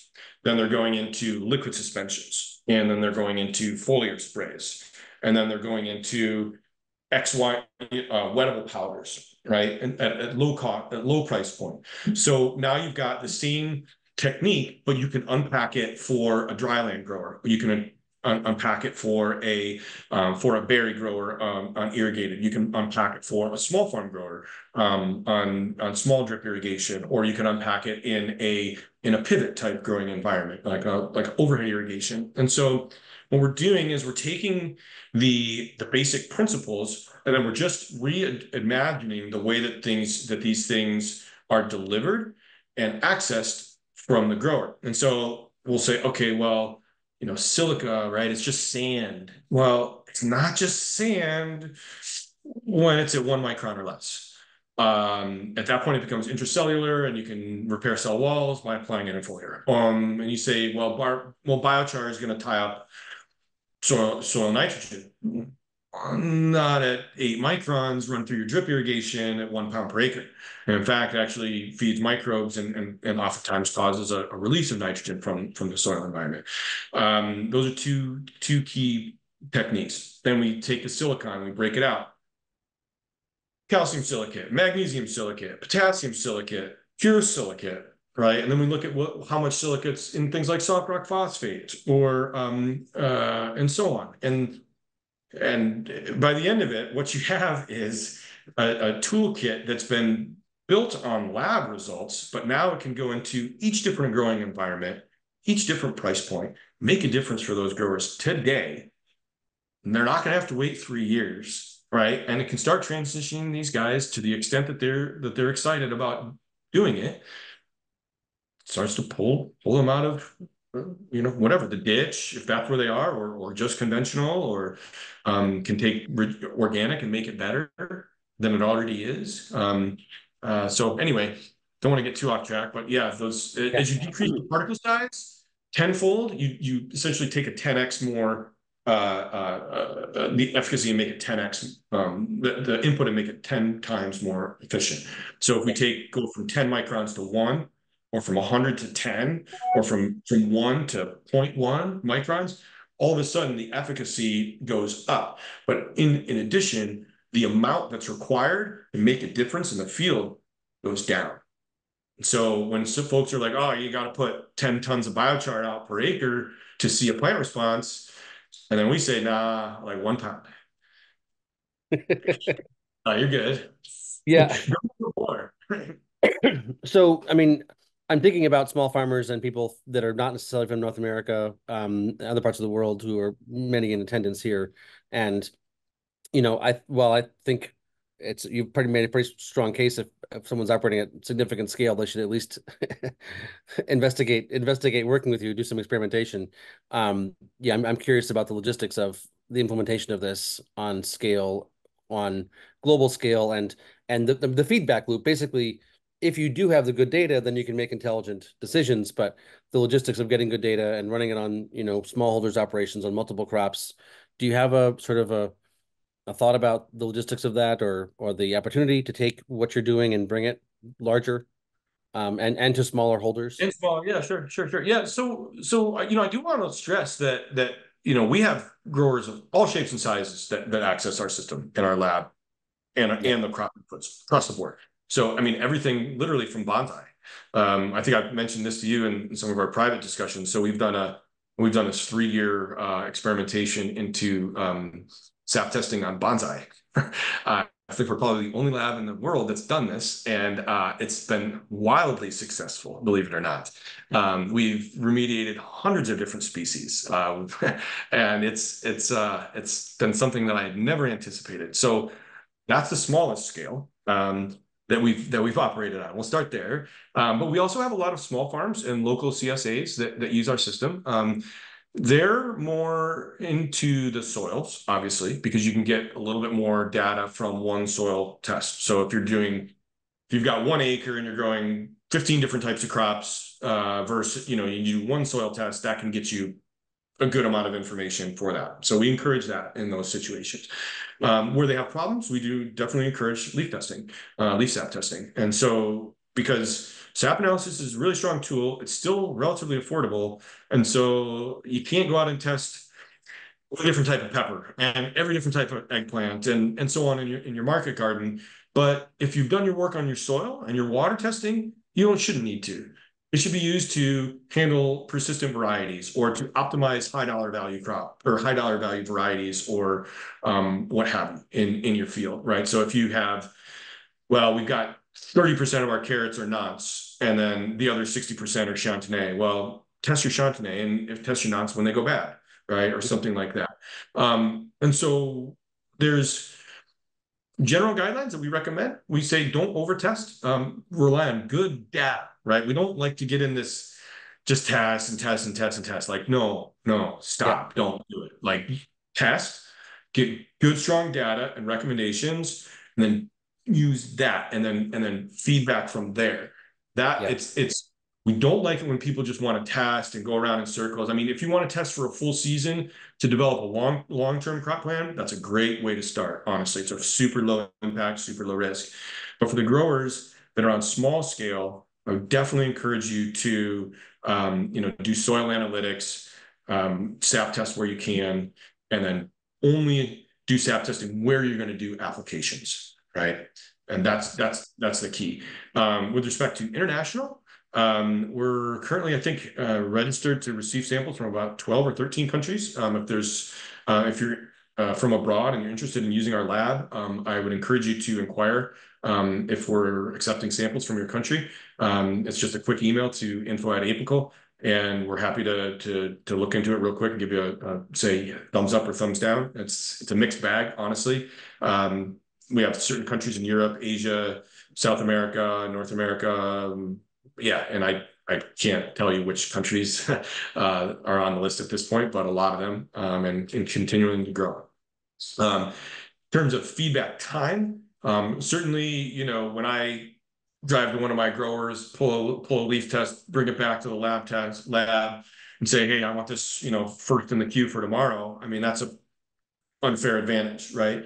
But your average grower that has sends in samples from um, even around the world, oftentimes can get their get results back to them and a recommendation in under uh, in seven to ten days time, and that includes um, uh, DHL uh, courier service. So um, when samples come into our lab, they're typically analyzed the following day. So samples that come in today is a Tuesday. The sample, anything that comes in today will report tomorrow, Wednesday evening. And so that's our that's our general commitment. Sometimes it gets a little bit fuzzy um, if we're really, really busy. Um, but uh, we've been able to access both extremely large and extremely small scale, uh, extraordinarily positive results um, across a wide range of crops and, and, and diverse uh, soil and bioregions, growing environments, greenhouses, substrates, and so on. Yeah. Um, the leaf sap testing is a great tool. And if you've never experienced it, um, you, you need to.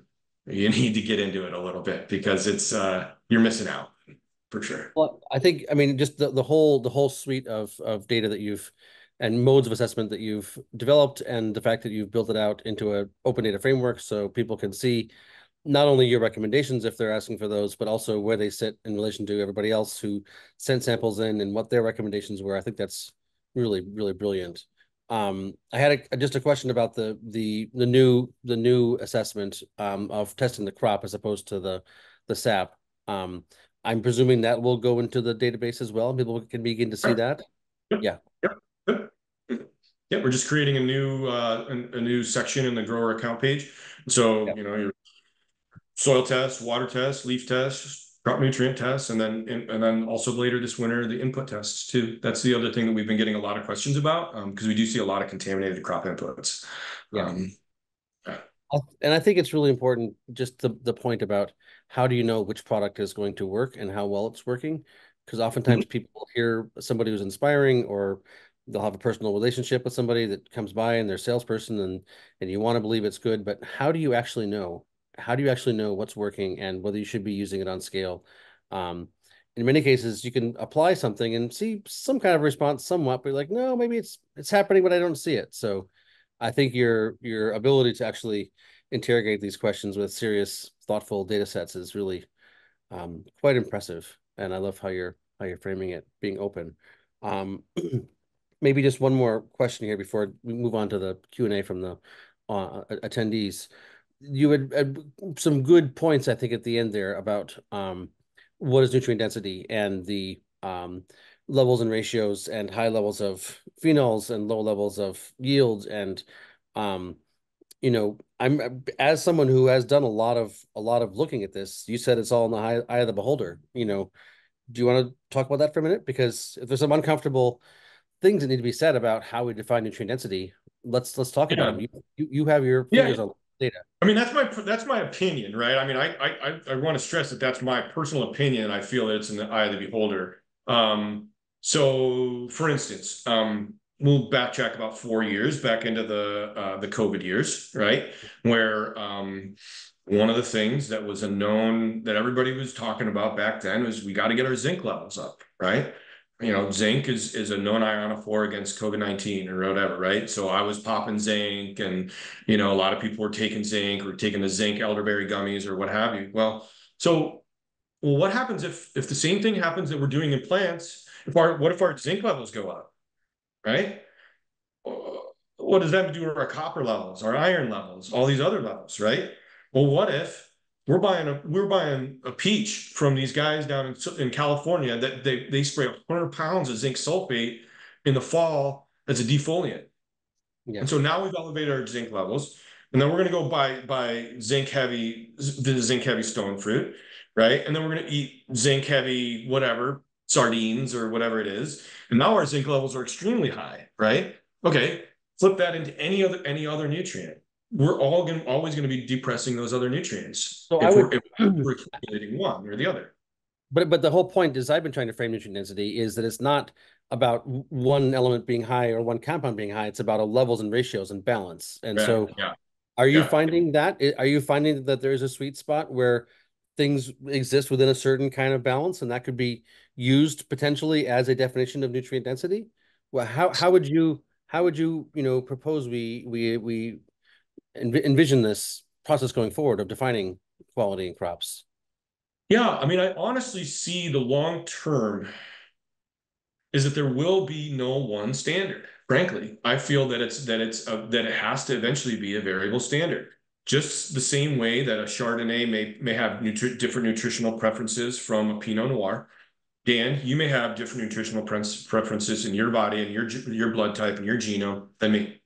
Yeah, Plus the, the, the, nutrients that you've intaken over the over the longer period of time um, may be slightly different than the ones that I've untaken. So I may have different imbalances than you. And so in order to get a nutrient dense, so like a, a, a piece of a piece of fruit that that has been sprayed with high levels of copper might be good for me because I already have high zinc, right? But then maybe for you, because you know because you've been eating uh, orchard crops from uh, orchard that had sprayed high copper for the last eight years. Now that may you may already have high copper and so now you don't need it. And so um, i don't know if there's any sort of a way to um, assess optimization. I yeah. do think there's a way to assess contamination and i think that's where we should start so contamination through nitrates, aluminum, heavy metals, so, so on and so forth. And that, in, in my opinion, that's where we start off with nutrient density. Get the shit out of there first, right? Get the crap out, get it, get it out, move and say, okay, from because from there, typically what's going to happen is all the other levels will come up. And the phenols will come up, it'll come up in, in ratio and in balance, in which would be something we could identify as the top of the continuum, Yeah. 100 out of 100. Correct. Yeah, no, I think it's your insight here is is I think extremely extremely relevant as we proceed down this this path. I'm looking forward to collaborating. Um, did you have any last question there, Erwin? You wanted to sh share before we yes, jump to the... yeah, I, I have, um, but really uh, good insight, uh, David, because uh, I have not thought about this nutrient density as being personal dependent or how you framed it, and um, this is something to think about. It's very interesting. But um, what I have is a practical question. Um, it intrigued me that you said that if you uh, make something smaller 10 times, then the efficiency will uh, increase 10 times. So what kind of tools can you can a farmer use to really um, make a material smaller? So I have used this um, um, concrete mill um, with pebbles in it, and I lay it with ceramics as sort of this ball mill. Um, but I don't know, maybe there's something more efficient that a farmer can make and use to. Um, oh, I mean, not efficient you know, to do it yourself sometimes. Yeah, yeah, I mean, some of the stuff in do you know DIY um it can only you know can get you so far. I mean, some of the particle size reduction is is it can be tricky, Erwin. I, I I'm not gonna lie. Um, you know, there's there's a reason why we're eliciting you know that same you know or a better response from you know one pound of calcium carbonate or two pounds of calcium carbonate than than we can from 50 pounds of gypsum. It's for that reason right? But um how that's done a lot of it's done in, in manufacturing type environments um, uh, that are specialized and, and set up with safety controls um, against that um, you know, farmers, I would encourage you to try to find those that maybe have been pre-milled, or if they're not available in your bioregion, uh, maybe to work uh, with somebody that has uh, uh, that is adept at using some of those milling techniques or technologies, or um, some some things like that. Um, the bigger piece, though, is is is if you actually look at like the the environmental analysis, um, the, the total digest soil analysis, what you'll find is there's just astronomical amounts of uh, nutrients in most soils, like crazy amounts, like hundreds of pounds of phosphate and you know thousands of pounds of calcium and and and so on and so forth. And then it's just that it's all locked up behind aluminum, um, aluminosilicates, aluminophosphates, iron phosphates, iron aluminosilicates, and so forth. And so the carbon can get in there and break that stuff apart um, but you can also demobilize aluminum through silicon and then release some of those other, um, you know, phosphates and things to the environment. So in a nutshell, the easiest way is to access it all from your own soil through targeted applications that have already been pre-processed to that amount I wouldn't try to encourage a lot of folks in the audience to try to get down to, you know, milling things below, you know, 20, 30 microns. Um, you get into silicas and things like that at that at that uh, size, it's it's there's severe health hazards, you know, asbestos exposure and, um, you know, yeah, things that you don't want to deal with. So I would encourage you to either A, find somebody that's uh, that's good at that type of technology, milling technology that's in your local region. Two, look at um, uh, products that you can access either from outside the environment with an appropriate permit or something else that's that's already there. Um, and then three, uh, look at uh, using small targeted amounts of one of what you identified in one and two to access the the latent resource that you already have. Um, thousands and thousands and thousands of pounds of free minerals out there in the soil already just ready waiting to be biologically ionized if we balance the soil properly. Thanks. Yep. All right um so we got a few questions here in the in the Q and A. Looks like we should be able to cover them. I think if people want to keep putting more in they should feel feel free to. Dina's got a couple um uh, different scale of agronomy. I think she's referring to the fact that you, in many cases, are working on large operations.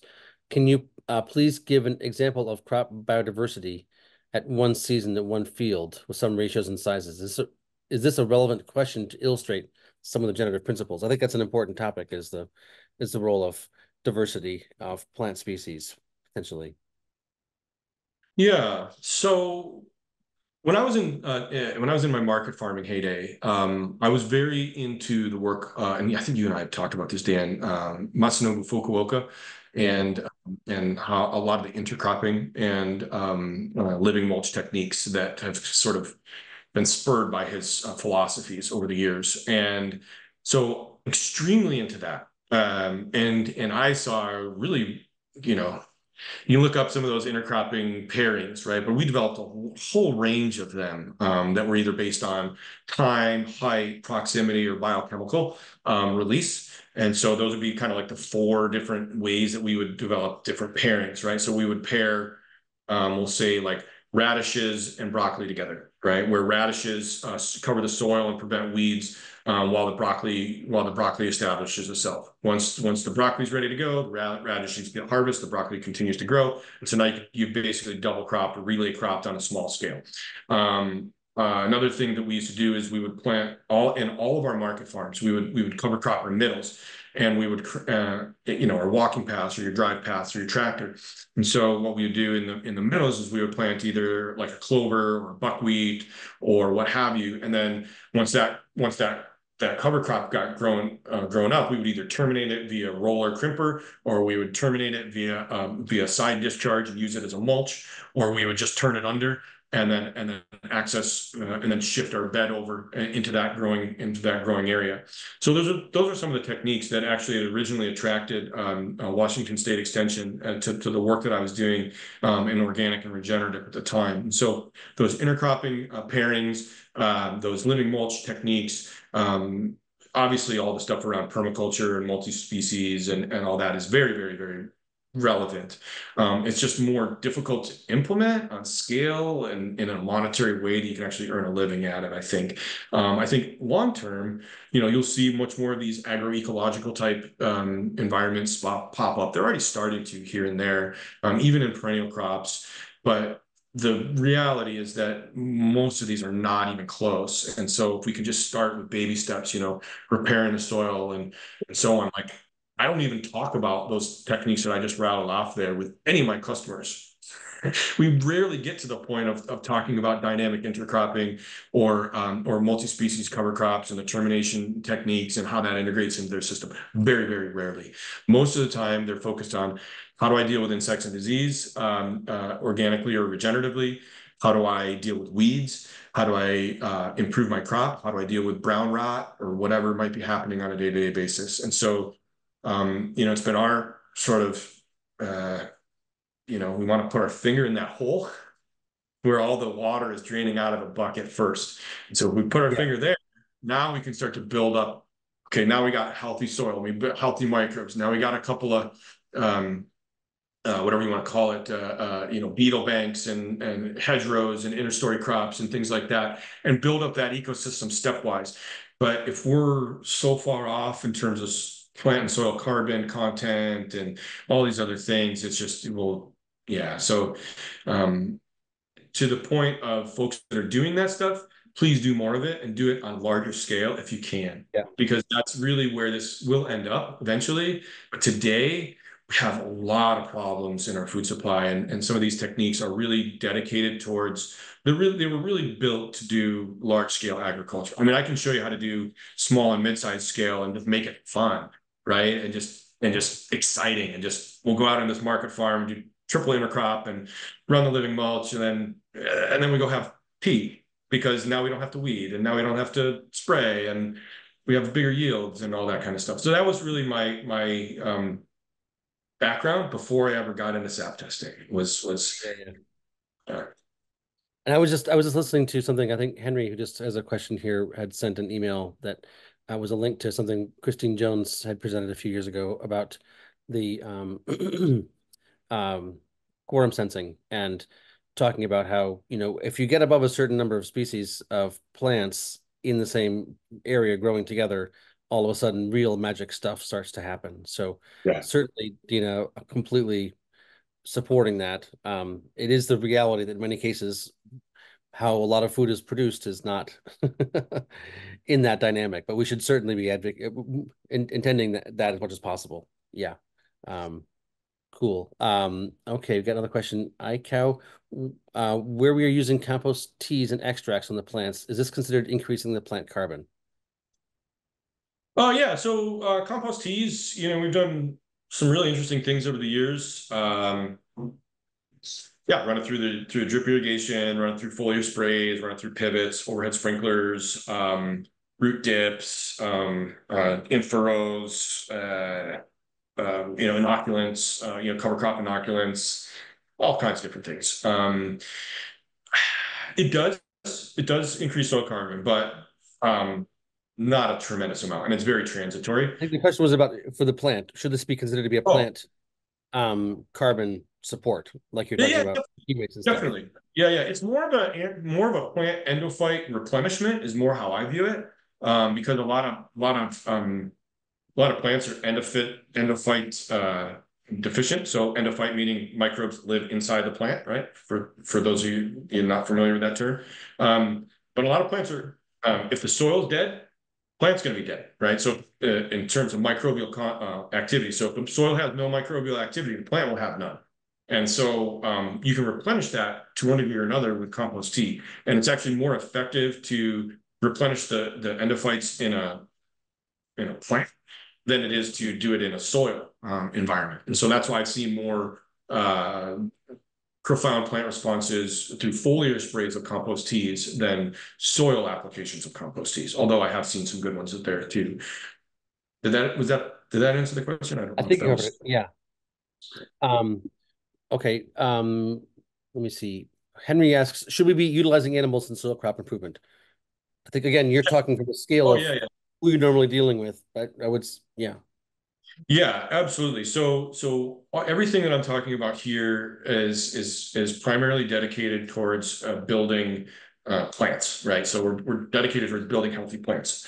Um, animals will eat those healthy plants. So, in whatever way, shape, or form uh, that you can get animals into your rotation, by all means. And a lot of situations, um, and I didn't really touch on this, but um, one of the crop inputs that we're that's just giving insanely good plant response right now, Dan, is uh, uh, using animal byproducts uh, complex with bi- uh, biochar and various forms of silicon and, microbes, um, humics and carbonates and phosphates to to actually create um, deliverable pellets. So you're not just applying chicken manure, right? And then salt, you know, you get great growth for three weeks, and then salt spikes, and then the drops off, and then you have powdery mildew or whatever. It's it's uh fully fully buffered formulas, um, ready to go, um, high levels of, of available nutrients, and so that's a substitute. It's not the ideal scenario where you would actually have grazing because there's huge amounts of beneficial um, cellulase enzymes and other types of coenzymes that are um, that are actually present in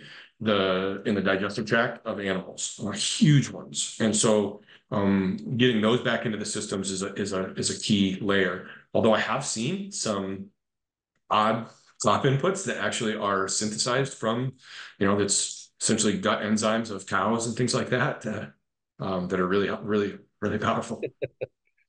Yeah, I think you talked about that pelletizing process and product and materials and you know it, it the, the the the point here is really we can use the tools and techniques and and you know that we've whatever the machines were whatever the application forms were of dry or prilled or foliars or, or liquid and and a suite of biological materials that can have quite powerfully positive effects so Yeah, Uh, what- I'm really describing is, is it's an update of technology, right? It's like Yeah. it's going from a from a from a TV, black and white, on the thing that everybody gathers around, you know, in the 1980s to now everybody's real time phones, da, da, da, right? So, so you know, we're using manure, yes. We're using animal bones, yes. We're using blood, we're using you know plant extracts or or or uh, soybean meal or any of these things, but we're using them in a way that's guided by laboratory analysis that tells us where the limitations of that input were that we never knew before. And so for things that I didn't know for years uh, that I was experiencing um, uh, have been elucidated with data. And now that allows us to make deeper and, and better decisions. And those decisions then spiral out. So we're not intending to replace nature. What we're doing is we're, we're, we're essentially taking nature and we're saying, look, we're going to cut some hardcore deals with you right now, real hard deals, right? Like humans have some issues. Like, all right, we can just, they could all just go away, right? And that's one option. But if we're going to continue to be on this planet and not continually poison ourselves, we need to take from history, we need to take from technology, and we need to bring those together. And we need to do that in a way that fits all these different growing environments, all these different crops, all these different growers, all these different consumers, and and then let technology sort all that out, really. Um, and so, yeah, we're we're not intending to depart from the traditional organic methods whatsoever. We're intending to essentially give them a fresh facelift and make them applicable on a scale that's uh, previously um, uh, not realized. Yeah, beautiful, beautiful. And I, I like one of the points you had made earlier about the about the plants. Um, I think maybe someone had had mentioned it, but um, the amount of suffering that a lot of plants are experiencing, if you consider them to be sentient beings in the dominant production system, is quite extreme. And I've always made this point to vegetarians who whose argument for not eating meat is because they don't want animals to suffer or they don't like animals being in CAFOs or whatever else. And like, sure, animals should have good, happy lives, you know, but how about your soybeans?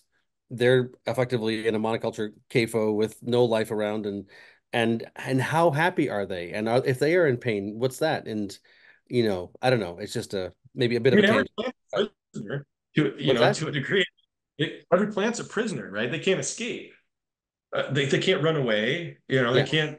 And so so their they their uh, methods and ways of adapting are completely uh, different than humans. You know, humans have fight or flight, right? Like we would fight or we would run. Um, and well, you have neither of those options in the plant, right? You have self cannibalism or self consumption, or or, uh, or self harm rather. Um, and yeah. so, uh, or or you can try to grow and and and let it ride. I guess that's and that's really what you see with these plants, right? And and is I mean, how many times have you seen a plant? It literally won't grow. Like it's out in the sun. 100%, it's just 100%. yeah, it's just sitting there. That plant is under significant stress and it, and it wants to grow, right? But it it's it's it's like no, I'm, I'm chill. I'm good. Like I'm not doing anything. I'm not giving any, I'm not giving back. I'm not taking. I'm just chilling, right? I'm just just watching yeah. Netflix, taking my paycheck home and going. You know, um, it's uh, yeah, it's yeah. sad that people don't um, think about how profound the plant kingdom is. And so, if there was one thing I could say that Apical has done is we've we've definitely given folks a new way of interacting with their plants, no doubt. Um, it's yeah. it's very very real. And and I don't think your reputation is anywhere near as well known around the planet as it should be.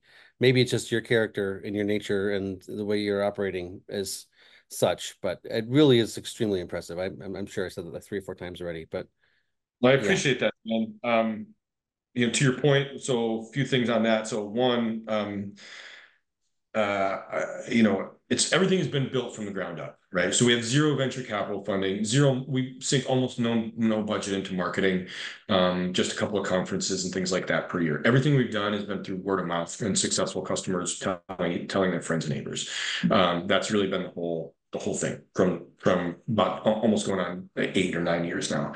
Um, so that's a piece. Uh, the fact that I personally um, am not the biggest fan of I don't do a lot of social media anyway. And so it's just I kind of evolved that way. But then the other bigger thing was that um we really wanted to make sure we got this right.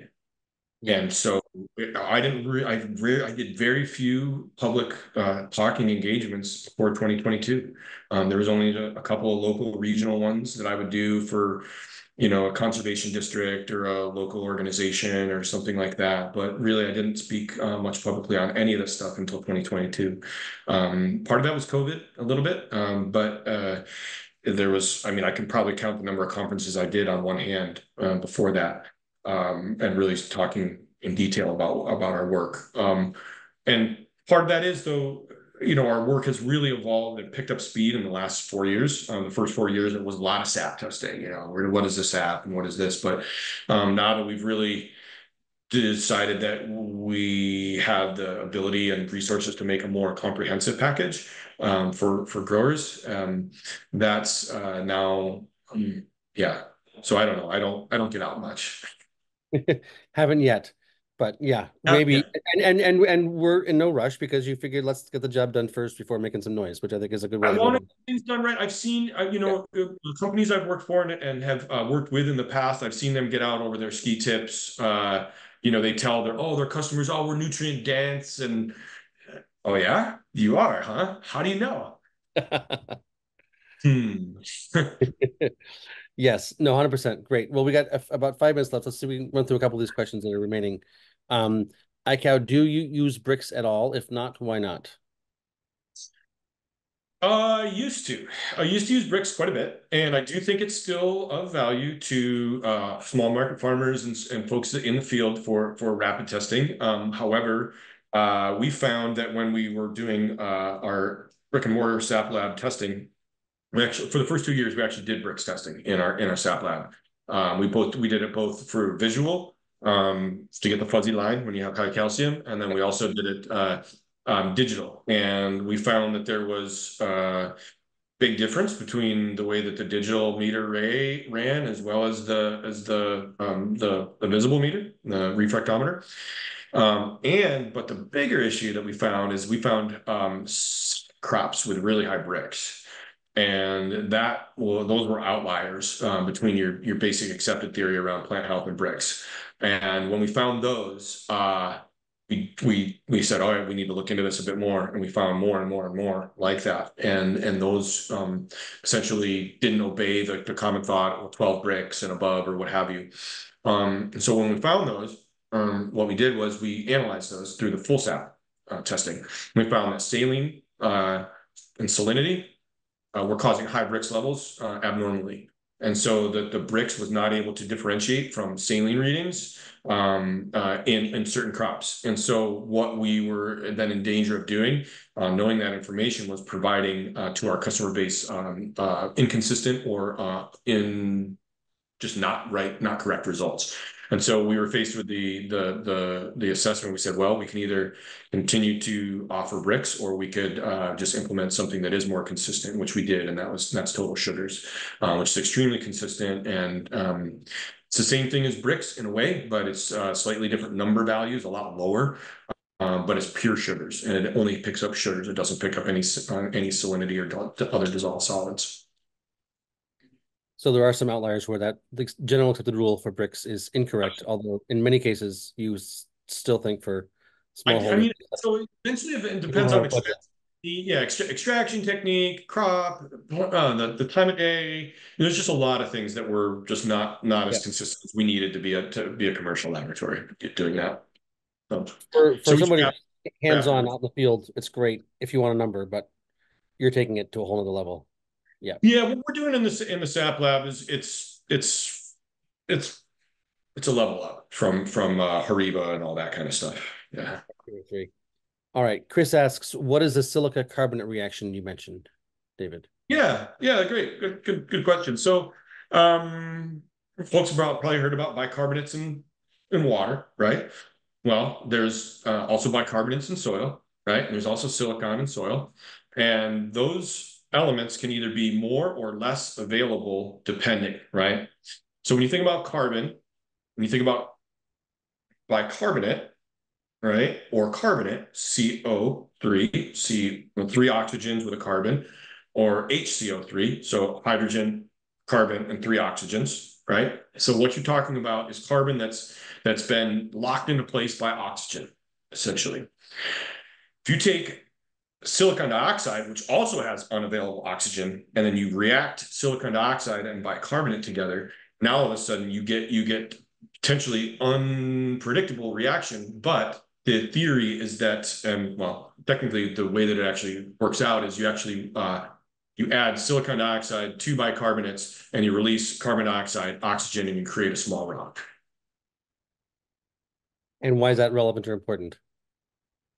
So it's really important when you're dealing in high bicarbonate environments, so either from the water or from the soil, high sil or low silicon environments, or some sort of uh, what have you, or say you've got uh, high, we'll call it sodium bicarbonate, right? Baking soda, tons of sodium in your in your in your cropping environment, tons of problems uh, because of sodium bicarbonate and sodium, and you got tons of white mold and all the other stuff that goes with it. Now you can then take silicon dioxide, apply it to your high bicarbonate situation, neutralize the bicarbonate, tie up the sodium, create a demobilized sodium silicate, which then is a rock, which the plant can't access. Once the plant can't access a sodium silicate rock, your sodium is demobilized and your soil salinity has been decreased. So um, that's one of the reasons. That's brilliant. I hope people follow what you just said. so, I mean, and the real point here is like, you know, I, I wrote down algae and ferments and foliars and and and compost teas and various people are, you know, like we're taught about this product, we're taught about this technique. You know, foliar sprays are going to save the world. Um, cover crops are great. Um, when you actually know what's going on in your soil, which has been affected by humans in most cases for decades or centuries or millennia, um, and in most cases is worn and weathered and imbalanced.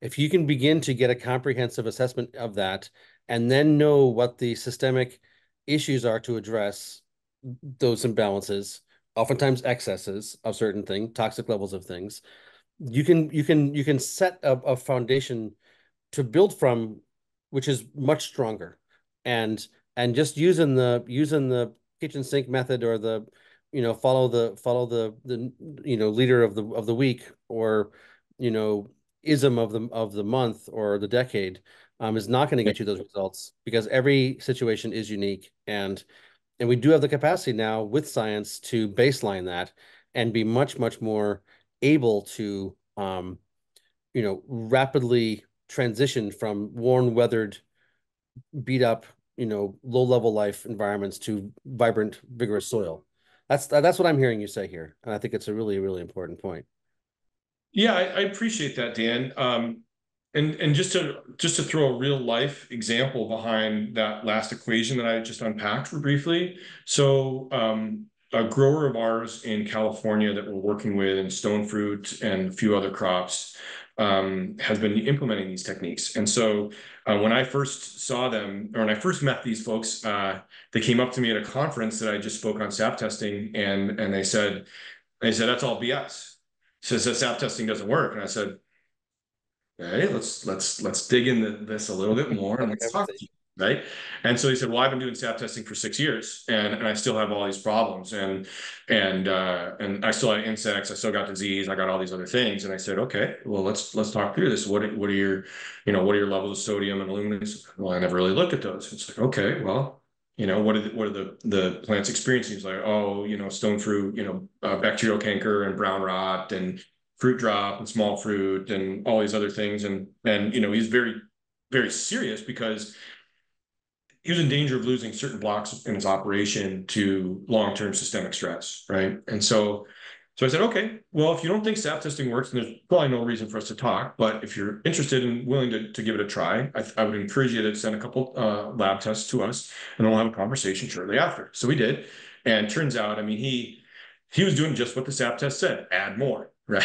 So he was adding more. Every single level on the sap test was pinned to the top of the top of the bars. And and I said, you know, I said, look, have you ever thought that you had too much fertilization? He's like, well, that's never how we've operated. And I said, okay, let's get your water, let's get your soil, let's do the whole thing. Well, it turns out the aluminum and the sodium were just driving everything. Well, essentially the sodium was driving poor plant health and susceptibility, and the aluminum was coming behind it to essentially just to take everything down completely once and for all. And, you know, he's talking, you know, I don't know how many more years these trees have left, you know, six months to a year, maybe two years, maybe one more crop.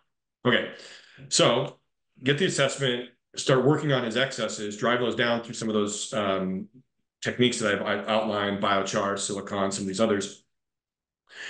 And immediately he started to see uh, visual differences in his plants that that he's you know he's well, I don't know I'm starting to see this I can't tell Okay, so about three months on the program late after that, I went to his farm and all these uh, trees that were dying from the top down due to aluminum stress and, and the associated uh, disease pressure were literally shooting new new shoots out. Yeah. They had, they had healthier fruit on there than he had than he has had in over 10 years and bigger fruit than he's had in over 10 years in addition, the other symptoms that that he was experiencing, chlorosis and and um, you know leaf cupping and leaf curl and some of these other things, aphid pressure was down eighty percent. You know things like that. Um, all of that was extremely relevant to implementing a silicon and and and carbon buffering technologies onto their into their environment. So anyway, you can, folks can discount all this stuff and that's great. I, I'd encourage them to do so. But if you're serious about regenerative agriculture, a lot of these techniques are, like I said at the beginning, they're replicable. You can study them, you can track them. Um, it's it's a lot of fun, and and uh, when we have the the tools and capabilities um, that we didn't used to have, it changes the paradigm. Really yeah, does. I think really the world can be very different very rapidly if we apply some of the things we know. So it's, it's How very, we scale? That's, that's, that's what the uh, that's what a lot of folks are asking nowadays is how quick can regenerative agriculture scale? Yeah. So see. Great. Well, thank you very much, David. It's been a pleasure having you. Glad to have you on our stage. And my pleasure. Thanks for the invite. More, more people know about you and we'll continue to. It's really, really wonderful work. Thanks again, Dan. Yeah. See you. All right. Talk soon. Thanks, guys. Appreciate all the audience. Thanks again.